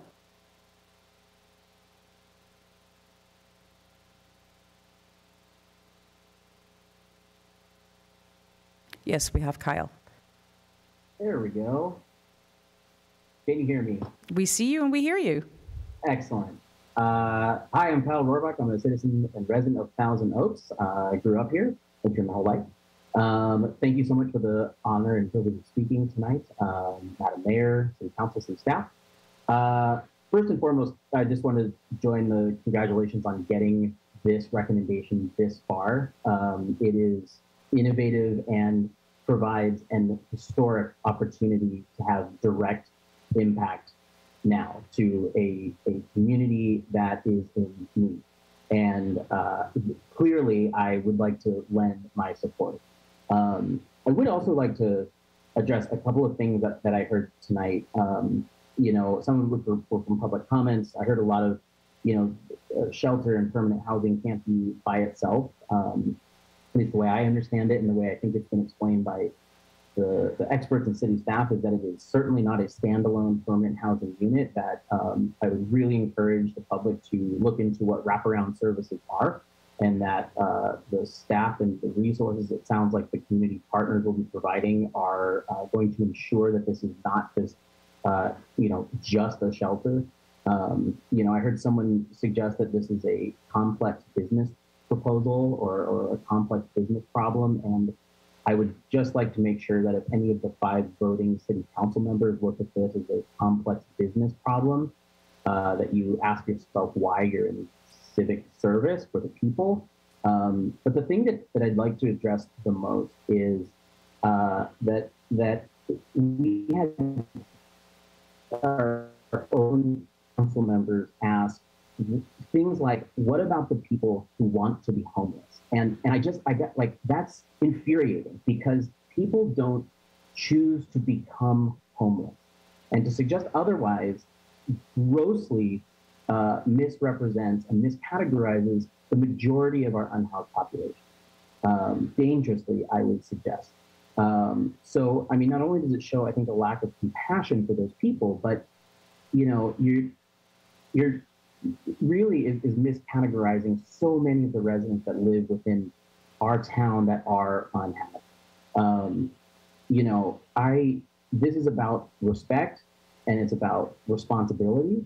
Um, you know, when you ask questions like what what's going to happen when we, we take the the hundreds of homeless and they put them in one place and they all congregate together, we, we can't ask questions that make it sound like a lab experiment. These are people, these are individuals, and they are those individuals that you all campaign to represent. And so uh, I'd like to just wrap up by by uh, asking for all of you to vote strongly in favor of the city staff's recommendations tonight because you made a goal to be inclusive of everyone, and this is directly related to that goal. Thank you. Thank you. Next speaker is Rena Sepulveda, followed by David she- David Schechter. Do we have Hello. have? Hi. Yeah. Good evening. I'm just also here to answer questions. I'm with the Turning Point Many Mansions and Area Housing Authority team. But I just wanted to ditto everything that um, the gentleman just said. Um, and I really, really appreciate the City of Thousand Oaks staff and the City Council members in making this a priority. Thank you. Next, we have David Schechter. We don't see David. All right, no David. Then we will go to Aaron Chriswall. He is with Step Up. Yes, hi, thank you. Um, I'm the Chief Housing Development Officer for Step Up, and um, I'm also here just to answer questions about our project. Is it Chris Wall or Chris Well? Chris Well. Okay. All right, thank you. Then Tracy McCauley. McCauley. Mayor Tracy is also on the line to answer questions as well. Okay. Then we go to David Goodman. Do we have David Goodman?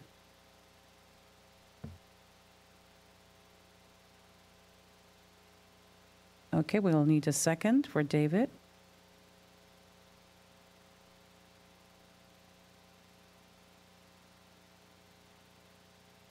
Hello, can you hear me now? Yes, hi, David. Hi, thank you so much. First of all, I want to preface my comments. Uh, I have listened very carefully to the staff presentation and the presentations, uh, all of the speakers. Um, the presentation was impressive, and there is no doubt that a lot of hard work went into it. I want to let the council and, and uh, staff and, and Madam Mayor, I want you to know that my perspective uh, on this is that as a retired uh, police officer, I've served in Ventura County at three different law enforcement agencies here. And uh, my experience has, unless my dog getting his two bits in, my experience has been that the homeless issue is made up of, of three three components. Those that are situationally displaced due to unforeseen circumstance which generally is a temporary situation. Those that are homeless due to mental illness and that would include uh, drug and alcohol addic- addictions. And uh, then those that segment of the population and contrary to what we've heard from some other speakers my experience as a as a field level street level uh, police officer is that there's a significant element of the population, homeless population, that is homeless by choice because they do not want to conform to the rules of society. So they live in in basically a parallel society, doing doing what they please, and that's the segment of the population that is particularly um, difficult to, to deal with and cause the problems. So when, as I've listened, uh, I was really mortified by Mr. Powers when he touted as a as a level of success the fact that two years uh, into this project, 96% of the people are still in in homeless shelter, homeless shelter housing. The fact of the matter is, subsequent to my retirement, and this I'm going to bare my soul a little bit here, uh, I found myself in category one where I was situationally displaced due to unforeseen circumstance. In my case, it was uh, physical injury that precluded me from earning a living sufficiently to live in traditional housing. I lived in a motorhome for two years, and I was very grateful to be able to do that.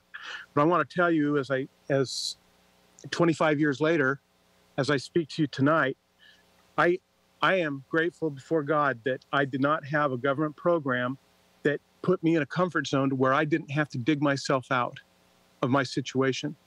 And I think that the problem, as I've listened carefully uh, to this to these proposals, the problem is that you guys have combined the emergency shelter and the permanent supportive housing into one situation. That needs to be bifurcated, and we need to move forward with it with an emergency shelter resources. And rather than spending time and energy and money in permanent permanent supportive housing issues, you need to address the core root of the housing program, uh, of the un, of the of the homeless, particularly with the segment of mental mentally ill, and and those who refuse to conform.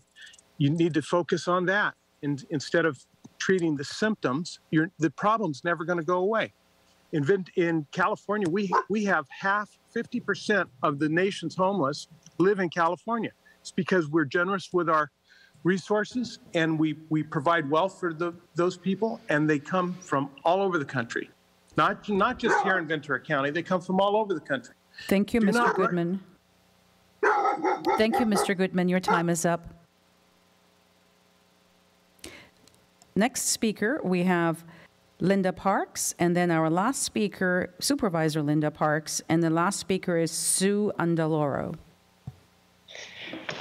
Hello, Council. I want to thank you, uh, particularly the committee that's making this recommendation, and also the City Council for your support, your staff for their leadership in bringing this forward, the committee that also uh, advised you.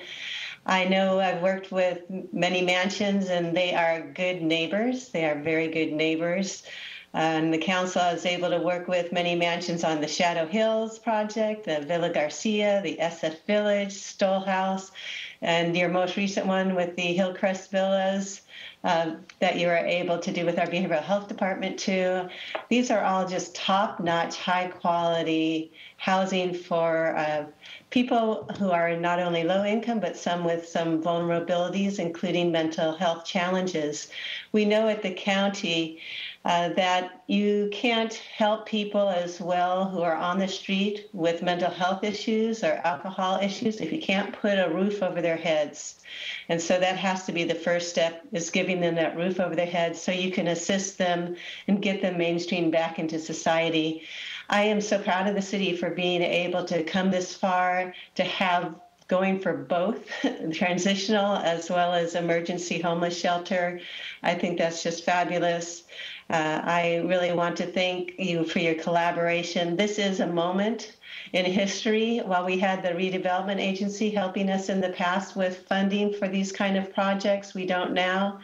And the fact that the state, with its project uh, Roomkey, is out there for us, that there are funds available. I was pleased at the Board of Supervisors to put aside funding specifically to help the cities to do these kind of projects. I do hope you'll take us up on it, and I wish you the best. I also want to give a shout out to Shangri-La that you are doing this. You could be doing, you know, major five-story, high-cost units. Instead, you are finding yourself a model where you can do this in an affordable fashion, and you can do it in a way that um, your company can can not only make some profit, but also importantly providing homes for people from veterans who are homeless and, and families and others who need homes. So Good for You for this model. Turning Point Foundation has been our nonprofit provider for our Growing Works project, and they do great work with veterans and others with mental health challenges. You have some great opportunities here, Council. I hope you will take the state, the county, and uh, your rec- your staff recommendations and your ad hoc committee's recommendation and approve. Thank you. Thank you. And our last speaker is Sue Andaloro. Do we have Sue? We do.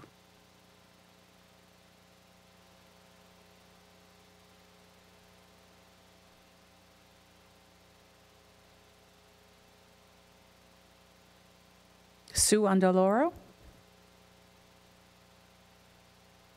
Oh, can you please unmute?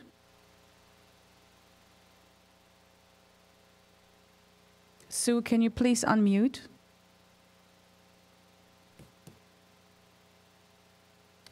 Well, is she, I don't see her. Is she by phone? Okay, she's on mute. Okay. Well, is she, we don't know if she's speaking since she's by phone. We can't see her video. Okay.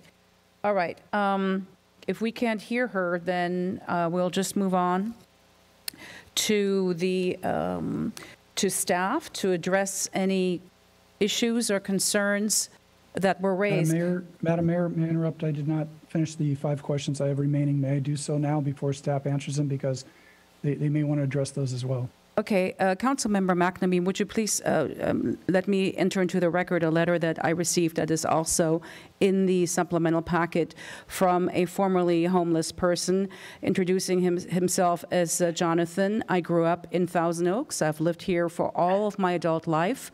I'm emailing you to urge you to vote uh, with for tonight's um, um, um, item for a homeless shelter in Thousand Oaks. I myself struggled with homelessness soon after my dad became ill and unable to provide for our family in his or my senior year of high school.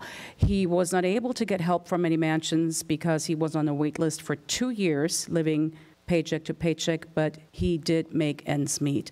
So this was something that I received today in my inbox from someone from Thousand Oaks who was um, homeless. Um, Mr. McNamee, I would like to, for staff, to address the speaker's concerns first, and then I will go to council for further questions. Very good.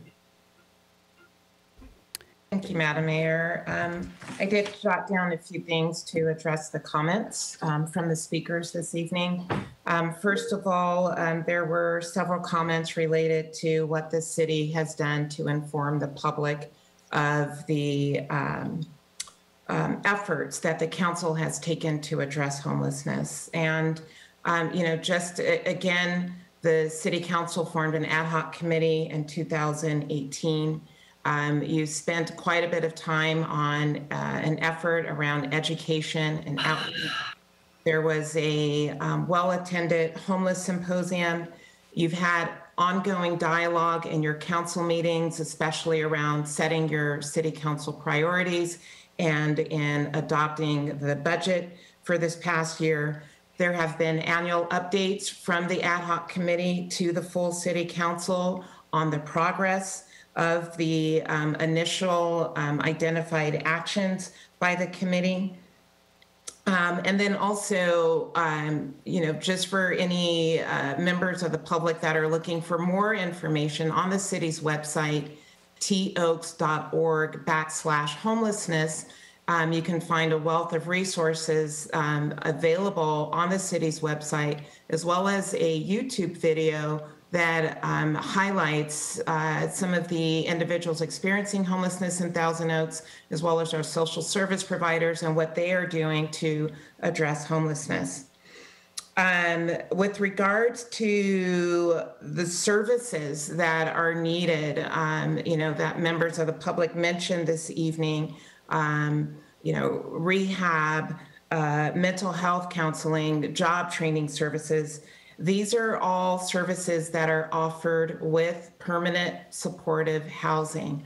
permanent supportive housing is affordable housing with these wraparound services available. They are also available through, um, as was mentioned this evening by one of the speakers from Turning Point Foundation, through a shel- through uh, shelters. Shelters are more than just a roof over the head and the old soup kitchen model that um, many of us may be familiar with. It's about um, you know doing that triage and identifying the services necessary and connecting individuals with a case manager um, to help stabilize um, the individual. Um, nothing is going to solve homelessness a uh, 100%. I, I, think we all know that, but I, I, just want to say that. And the committee's intent um, and the work that has been done over the years has just it has been about you know identifying and evaluating tools to assist in managing homelessness locally one of the biggest impediments, um, especially after uh, the Boise ruling that we have been challenged with, is not having an emergency shelter, not having anywhere for individuals to go who are experiencing homelessness. And we encountered the same uh, challenge in working with Caltrans. They have a policy. If you want us to clear your encampment, then you need to have housing resources available, and we will certainly work with the city in doing that. Um, I mentioned the website and, um, oh, and just lastly, with Project Homekey, there is information available on the state's website. That program is de- designed for permanent housing and it also supports the temporary housing. But in doing so, it's recognizing that um, the pathway um, is for from interim housing to permanent housing. And so that is the reason why the RFQ was crafted in the way that it was crafted.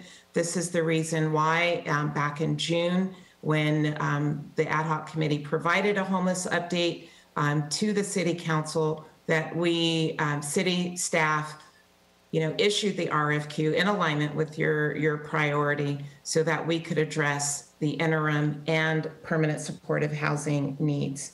Um, from a law enforcement perspective, I am going to ask Jeremy to chime in because he is the expert in that regard. Thank you. Chief Paris. Yeah, um, I just wanted to address we some of the things we've talked about um, have been impacts of businesses. We're having those impacts now, um, and and we we need this additional tool uh, we really don't have any tools right now to deal with um, the illegal camping. Um, and this will be an important tool for us to be able to use to move forward to uh, to do enforcement, the enforcement that uh, that really that that needs to be done to address um, address the issue. It's not going to be a perfect tool. It's not going to be something um, that's going to solve our uh, all our problems, but it's a tool we don't have right now that we we greatly need. Thank you. Was there any other staff member who wanted to address concerns by the, by the speakers? No. Okay. So Mr. Jones, Councilmember Jones, had his hand up for, uh, from before we went to public comments. I will go to Councilmember Jones and then to Councilmember McNamee. Yeah, I was interested in what Mr. Goodman was saying. I don't know if he's still here, but he really brought the problem home to me to think that someone who had done all this public service uh, in, in police work for different agencies still found himself in this uh, dilemma of housing. And he laid out the problem rather well, I thought, and talked about how, even with his background, you still uh, could be in danger. And but I he he uh, ended, and I'm trying to get my thoughts around what are what would be considered success. Uh, is success getting someone in a shelter? Is success getting somebody to clean up and get over a drug problem or something? Or is success getting someone to gradually get to the place where he can go out on his own and be self sufficient? I mean, are the first step, first two steps I mentioned, are those considered interim steps are, for some people, is that the final solution? Uh, You know, that forever they're going to be dependent. Perhaps that I mean, I realize that th- there are probably as many types of homeless as there are people, but do, do, do we, do we have a specific goal or goals that we're shooting for? I guess Mr. Goodman isn't still around, or he might have. No, he's not, but maybe Mr. Jason Meek of Turning Point, Turning Point Foundation could, could answer that question. Yes, and, and that's that's a very good question. And Success is quantified differently based on one's experience, backgrounds, barriers.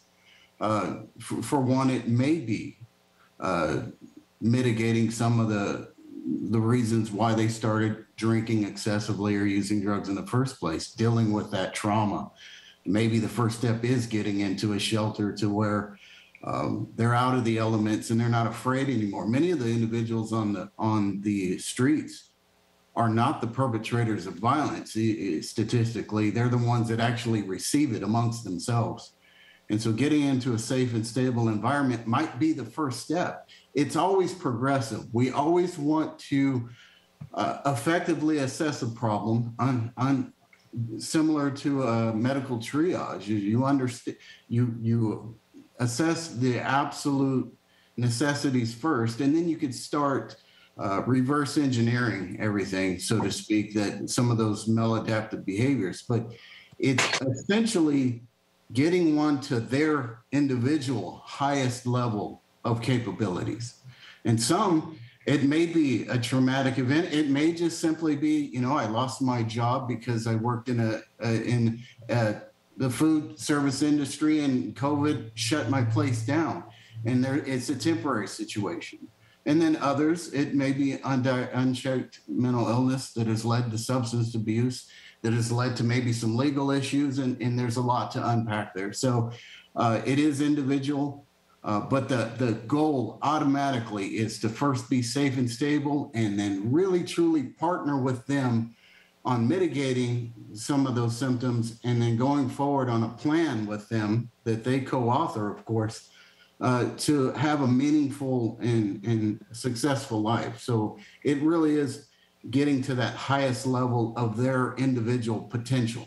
And as the gentleman said earlier, I've been in this field of behavioral health and, and homelessness my entire career, and I've yet to really hear anyone say that they willfully enjoy the position they're in and want to stay there, and that that was a part of the, the master plan. Um, But so, what, but what has happened in the modern period to cause the emergence of the homeless problem? I was in government many years ago for a good period of time, and I don't remember in those days, I'm talking about the 70s and the 80s, hearing about a homeless problem. It, it has, did something happen in the last 10, 15 years? Was it the economy? Uh, I mean, did something change that all of a sudden brought this problem? well, there are certainly a lot of factors that certainly uh, bolster this issue. You know, you know, pandemic aside, that that that you know, mental illness and one in one in four adults in the U.S. Uh, is subject to mental illness, and that comes in different forms. Not everyone's schizophrenia. Some have crippling anxiety. So, uh, social political climate can can do that. It it could be that economic jo- jobs are not tracking well with the cost of living. That's a very common one in California, particularly. There's there's a lot of things to do. People are getting educated and not finding um, employment that can meet the the need the demands of uh, having a house and then uh, you know exorbitant student loans. Uh, we've been in a war uh, on and off for you know a couple of decades, and we're having a lot of our servicemen and women come back with some real issues that we're just now. I think, if anything, is we're just now really providing a safe place for people to express their their need for help, and Yeah, uh, so I it's suppose- becoming more salient. I suppose the, I was going to say skyrocketing. uh, My wife hates that term, but the price of housing has gone up so radically in the last 10 years, 15 years. Is, is- that's probably one of the big causes, right? It certainly is. They're, they- they're, they're doing lots of studies recently on even two prof, it's, it's not just having a two income household. It's almost having a two professional income household on top of uh, childcare, which in and of itself can be the cost of uh, renting a, a single room apartment. So there's a lot of factors there. Essen- Essentially, the, a lot of the workforce is not paying a wage that, I know this is a much broader issue, but not paying a wage that, that is livable. And then affordable housing, you know, you're, you're going to hear that common denominator quite a bit. I don't want to be a broken record on that, but all the data supports that there simply isn't enough affordable housing. And we're taking a vulnerable population and tipping that over the edge into homelessness. And there is a, I know earlier one of the, somebody had, had mentioned in 25 to 50% of uh, co-occurring disorders or substance abuse with mental illness and homelessness. We're getting those numbers for people that actually admit it. It's much higher than that um, if you really look at it. But again, it's not just a, a disease in the sake in the sense of a disease. It is it is an end result of life symptoms in many ways, and um, uh, it, it's uh, for us to have a robust treatment modality to meet those needs is what we're going for. That's what supportive housing is. That's what the shelter is. We're going to do our very, very best should we get the opportunity to understand those unique needs and apply the appropriate resolutions to that. Well, end. Madam Mayor, I would like to particularly thank you and Councilman Engler or Mayor Pro Tem Engler and Ingrid and everyone who has, you know, uh, put the shoulder to the wheel here and, and produce this outcome. It's probably not perfect. and I don't, I don't think there is a perfect answer, but I like the two re- uh, recommended actions and I intend to- to support them. Thank you. Thank you very much. Councilmember McNamee. I, just uh, four uh, comments and, and actually four questions. Uh, In the presentation, $1.45 billion is going to be made available from the state uh, to all the different communities. Uh, If someone could tell me how much is Thousand Oaks going to see of that 1.45 billion? Um, well, first of all, we do have to apply for the funding, so we don't know the exact number, but Thousand Oaks or Ventura County actually is lumped in with Southern, I believe it's the Southern County. I would have to look through the, the RFP, but basically they have, the state has apportioned different dollar amounts to different parts of the state. So we don't know at this point how much we're going to receive. And what happens when the state either stops funding or that money runs out? Uh, who, who is the one that's going to have to support the services that we're providing, not only to this location as well as others that will pop up here in the city? Um, so just to answer, sorry, uh, Mr. McNamee, to go back to your original question, there's $101 million available to the Southern California area on a competitive basis. Um, the state is providing through this year's Project Homekey some dollars for operating subsidy. Um, and then um, I mentioned tonight some of the other funding sources that have historically been around to support homeless services. Um, and so when we return to the city council, uh, we will have a recommendation on how uh, we can support these two projects. So what I'm hearing is that we'll, we're looking at less than 10% coming to the Southland and no idea how many is, how much is going to come to us, correct? Um, not at this time. We don't know. It's a, a competitive funding. So Okay. we will find out if we apply for the funding. And I noticed that Salvation Army was one of the uh, vendors that was entertaining uh, a, a possibility of doing something like this. I've, I've had a lot of nice work with the Salvation Army and the good work they do uh, with trying to get people back on track and get purpose in their life again. Uh, what was it about Salvation Army that did not make the cut? Um, I do not have those comments with me this evening, but there was an evaluation committee that was made up of, of um, city and county staff. Um, and the two, I will say that the um, two recommended development teams in front of you had very strong proposals, and that was the agreement across the entire committee. Okay. And what happens if that permanent supported resident begins a family? Who supports the family at that point? What's the game plan? Well, you know, as many mansions mentioned this evening, they have permanent supportive housing, um, you know, for families. Um, I, I don't know if there's anything else to to add to that um, by our experts who are on the call this evening in terms of how people may transition from being, you know, a single adult to to having a family. Thank you. If I, if I may conclude, uh, again, I am very near and dear to my heart is this homeless problem and how to address it. One of the issues that I always want to keep in mind of any program that goes forward is that it doesn't create pauperism and dependency. These are human beings. These are our neighbors. They're someone's mother, father, sister, brother, aunt, uncle. They need to be dealt with with compassion. I don't want it to be dependent on the city, the county, the state, or the federal government that they've got a pathway to independence. That to me is the greatest goal we can shoot for. And yes, there's a range of people that will always be dependent on the state.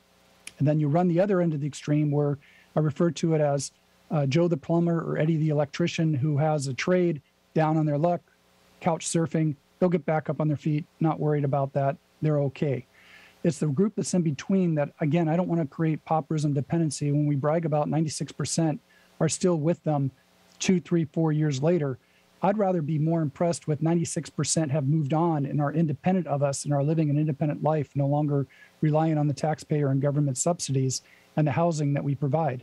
Because we have 242 homeless right now based on our count, and we're only providing 77 right now for permanent housing. So we're not going to be able to take advantage of taking them off the street and giving them a place for food, shelter, and medication whether that be in the county jail or whether it be on uh, uh, subsidized housing, like what we're describing today. So, any myth that we may have or any conception that this will uh, eliminate the homeless we see on the streets in our neighborhoods, it's not going to happen until we exceed that 242. Then the police can actually move in and uh, get them off the street and make them into a, a safe environment. Again, my my business is right across the driveway from Lutheran, Lutheran Social Services that does a great job of providing for the homeless. I talk to these people, I see them every day. I have some patients of mine who are homeless and see them and hear their plight and what they're going through. So I appreciate what it what what they're going through and want to provide something that is more than just dependent housing forever and ever and they're not getting off of it. Again, I don't want pauperism and dependency. I want independence and for them to find their purpose in life so they can move forward with uh, some pride in, in what they do every day. Madam Mayor? Thank you, Councilmember McNamee. Uh, I, I do want to stress that um, I think it has been made clear from the very beginning that we will not solve homelessness. We can certainly manage it, but I am under no illusion, nor is there a myth that all of a sudden everybody's going to find a home, shelter, and will be off the streets. That is not at all the case, but certainly we can um, help to uh, manage it we have Councilmember Al Adam, followed by Mayor Pro Tem Bob Engler. Uh, yes, thank you, Mayor. And uh, thank you for all the participants tonight. We certainly had a wealth of information presented to us. And uh, it's obvious that we have a homeless problem here in, in Thousand Oaks. We've had it for a number of years. Uh, I came here in 77. Like Ed was saying, it didn't seem like we had this problem way back when, but, but we got it now and we got to deal with it. And uh, but I'll tell you something: our homeless situation pales in comparison to other cities. Los Angeles, sixty thousand people homeless. Venice, a mile of tents along the boardwalk. My daughter lives in West LA. We go down there to visit her. I'm shocked at what I see: tents along medians in the middle of streets, tents on sidewalks. I don't want that to happen here in the city of Thousand Oaks.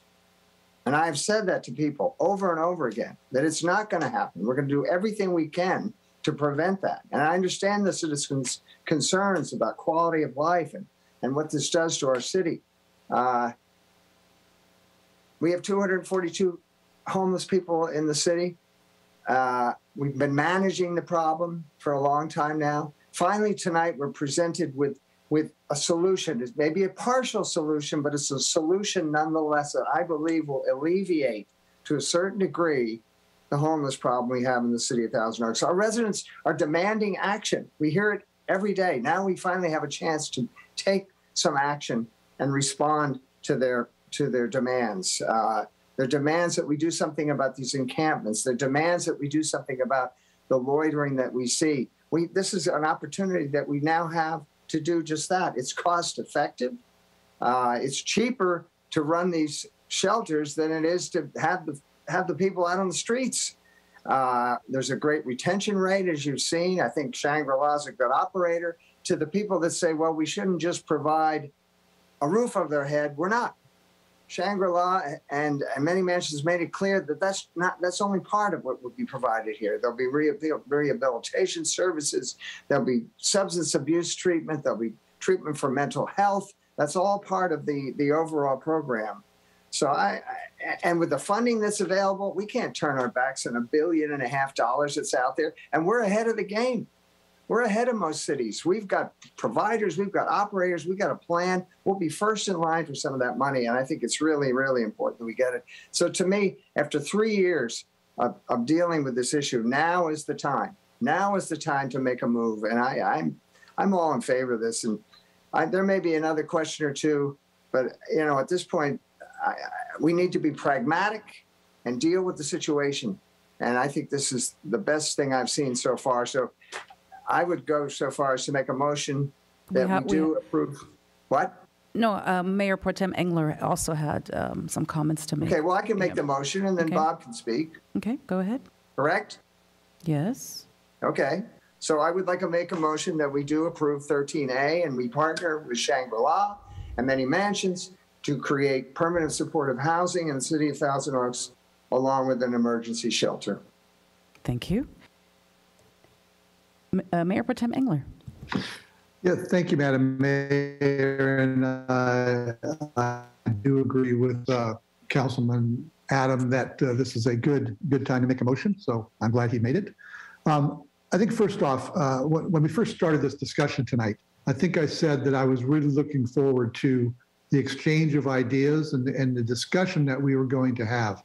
And uh, between my, my council colleagues, uh, staff, uh, our, our speakers, our public speakers, we, uh, and of course, the, the, the uh, purveyors that may be uh, the benefit of our, our decisions tonight, I think we have really dived deep on the homelessness issues. Um, and I appreciate all of our all of our thoughts tonight. Um, I don't know about anybody else. I saw a lot of pure hearts looking at a very difficult situation and trying to come up with solutions that make sense. Um, I think the, the, point has been made several times, and I'll, I'll remake the point. This is a big problem. We we as as a city uh, can only take a bite out of this problem. Um, by doing what we uh, may do tonight, um, I think goes a long way to helping the problem, but there's always going to be issues that will crop up. And I appreciate my colleagues um, uh, noting that. This is not going to solve all the issues that we are faced with, but it is part of the solution. To continue, I think I was reading that uh, three or four years ago, we had a, a hundred people uh, who were experiencing homeless in our town. a couple of years ago, it was 150. Now we're looking at 240. So whatever we are doing doesn't appear to me to be working. So the alternative is to keep on this course and to see further erosion of the things that people, some of our public speakers were concerned about. So let's try an alternative here. Let's do something that will directly affect uh, a number of people in town who are currently experiencing homelessness. Um, there, there's a lot of practical reasons for doing this, but I, but really, and I think all my colleagues would agree, this is the right thing to do. Um, many of you know that I'm not overly religious, but I, I am from a, the Christian uh, uh, tradition. Um, one of the one of the favorite quotes in the Bible that I know is Matthew 25 that speaks of um, you gave me food when I was hungry. This is this is the the words that I try to live by. And when I see the opportunity in our town where people are hungry, they're not clothed well, they they need a place to stay, um, and we have committed six million and six and a half million dollars of our own money to fix it, and there's a possibility of getting more cash from the state. I think it's incumbent upon us to follow that Bible verse, and uh, I, I would wholeheartedly uh, support the motion. Thank you, Mayor Potem Engler, and thank you, Councilmember Adam, for making the motion. Uh, when we started forming this ad hoc committee back in 2018, we did it because we were seeing, we noticed that the number of homeless people or those who were unhoused was increasing in, in the city of Thousand Oaks. That committee was consisting first uh, uh, of me and then also then council member Rob McCoy. We brought in over a dozen clergy to see if we could help solve or manage the homeless crisis with the help of clergy clergy were very interested. We had over a dozen churches come together, or representatives from a dozen churches come together. They want to help and they are helping, but the thought of being single handedly responsible for managing homelessness uh, or helping those who are unhoused was something that they were not prepared to do. Our churches and our community are doing wonderfully, serving lunches every day or preparing lunches, preparing the dinners, and providing clothing. Uh, and most of those dinners really is homemade food, homemade dinners. Um, and so it became clear after that that as much as we wanted the private sector or the churches to manage this, this, is, this was simply too large a responsibility. Um, I, my children have helped with homeless dinner since they were nine and a half years old. They know many of the homeless people. Yes, some of them can be scary because they suffer from mental illness, but by and large, uh, it was really heartening to see how, how my kids and other kids who were helping out and volunteering were getting to know these individuals who had fallen on hard times. And you cannot really start early enough to show your children or, or students what it is like to care for one another, what our moral responsibility is. And so we helped out at the Motel 6. We got to know more of those who are unhoused last summer during COVID. And I cannot tell you during all this time we were having meetings, Bob Engler and I, to see with staff to see how we could manage this. And I have to say, staff has done a tremendous job, and that I have to give credit to Ingrid, Ingrid Hardy, uh, a tremendous job to get us to this point. Over the last three years, we have been able to have a symposium we have had a page dedicated on our city website as to what homelessness is. Our local newspapers have reported on the issue of homelessness on a regular basis.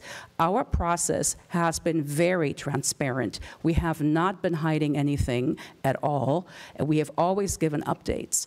And so to be here more than three years after this committee was formed, to me, is a moment of pride. And as Councilmember Adams said at the beginning of the meeting, we are so fortunate to be able to make this recommendation, Bob Engler and I, to our council colleagues. Not every city can do that. We are really fortunate to be able to do this. And I hope that as historic as this decision is tonight and this consideration, that it will finally do what we all have strived to do, which is to help one another and to love one another. And we can only do that by taking bold action.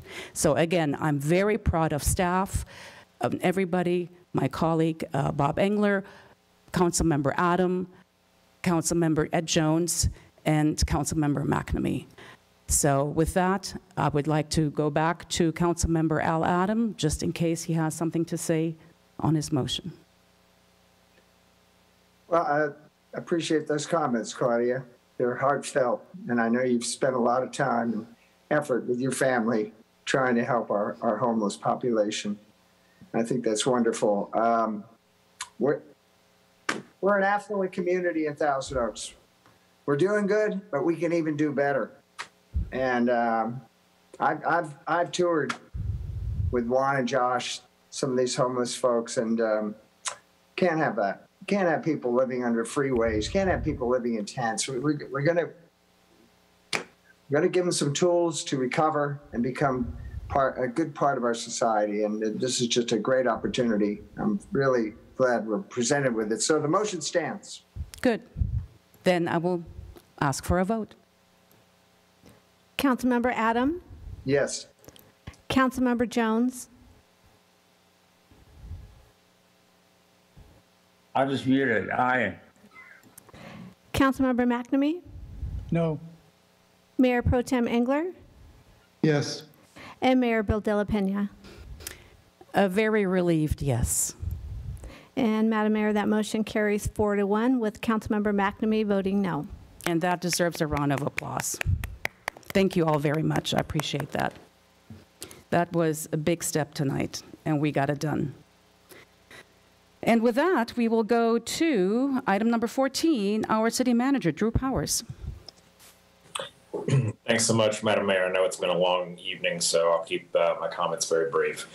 Um, I want to just acknowledge, and I know many have said it tonight, but uh, it, it, bears repeating um, leadership uh, on a, a, tough, tough, complex issue from uh, our Assistant City Manager, Ingrid Hardy, and a team behind her from City Attorney's Office, other City Manager's Office staff, Finance Office staff, and our partners in the County of Ventura in, uh, in helping to guide it. So I'm very appreciative of all the time, effort, and energy. Uh, this is getting the ball maybe to the 50 yard line. Uh, there's a lot of a lot more work uh, uh, forthcoming. So this is uh, well important step, not the end of the road, and we will continue to move forward based on council's action.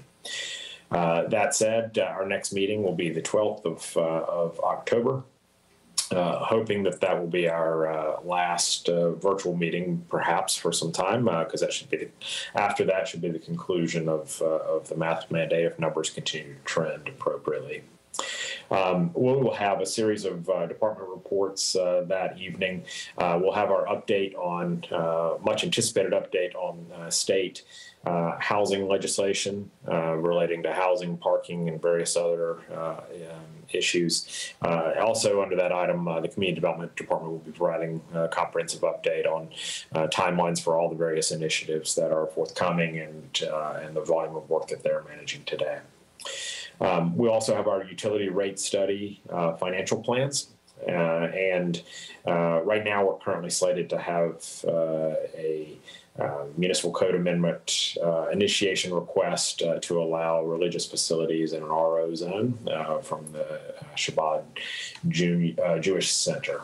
And uh, that meeting will be on the 12th of October. And uh, that will, uh, that is at least how the agenda is shaping up as of right now. Um, and uh, we look forward to seeing everyone then. Thank you so much. And we don't have any adjournments really for this evening in memory. So we will then conclude this meeting tonight until October 12th. We'll see you next month. Have a good night.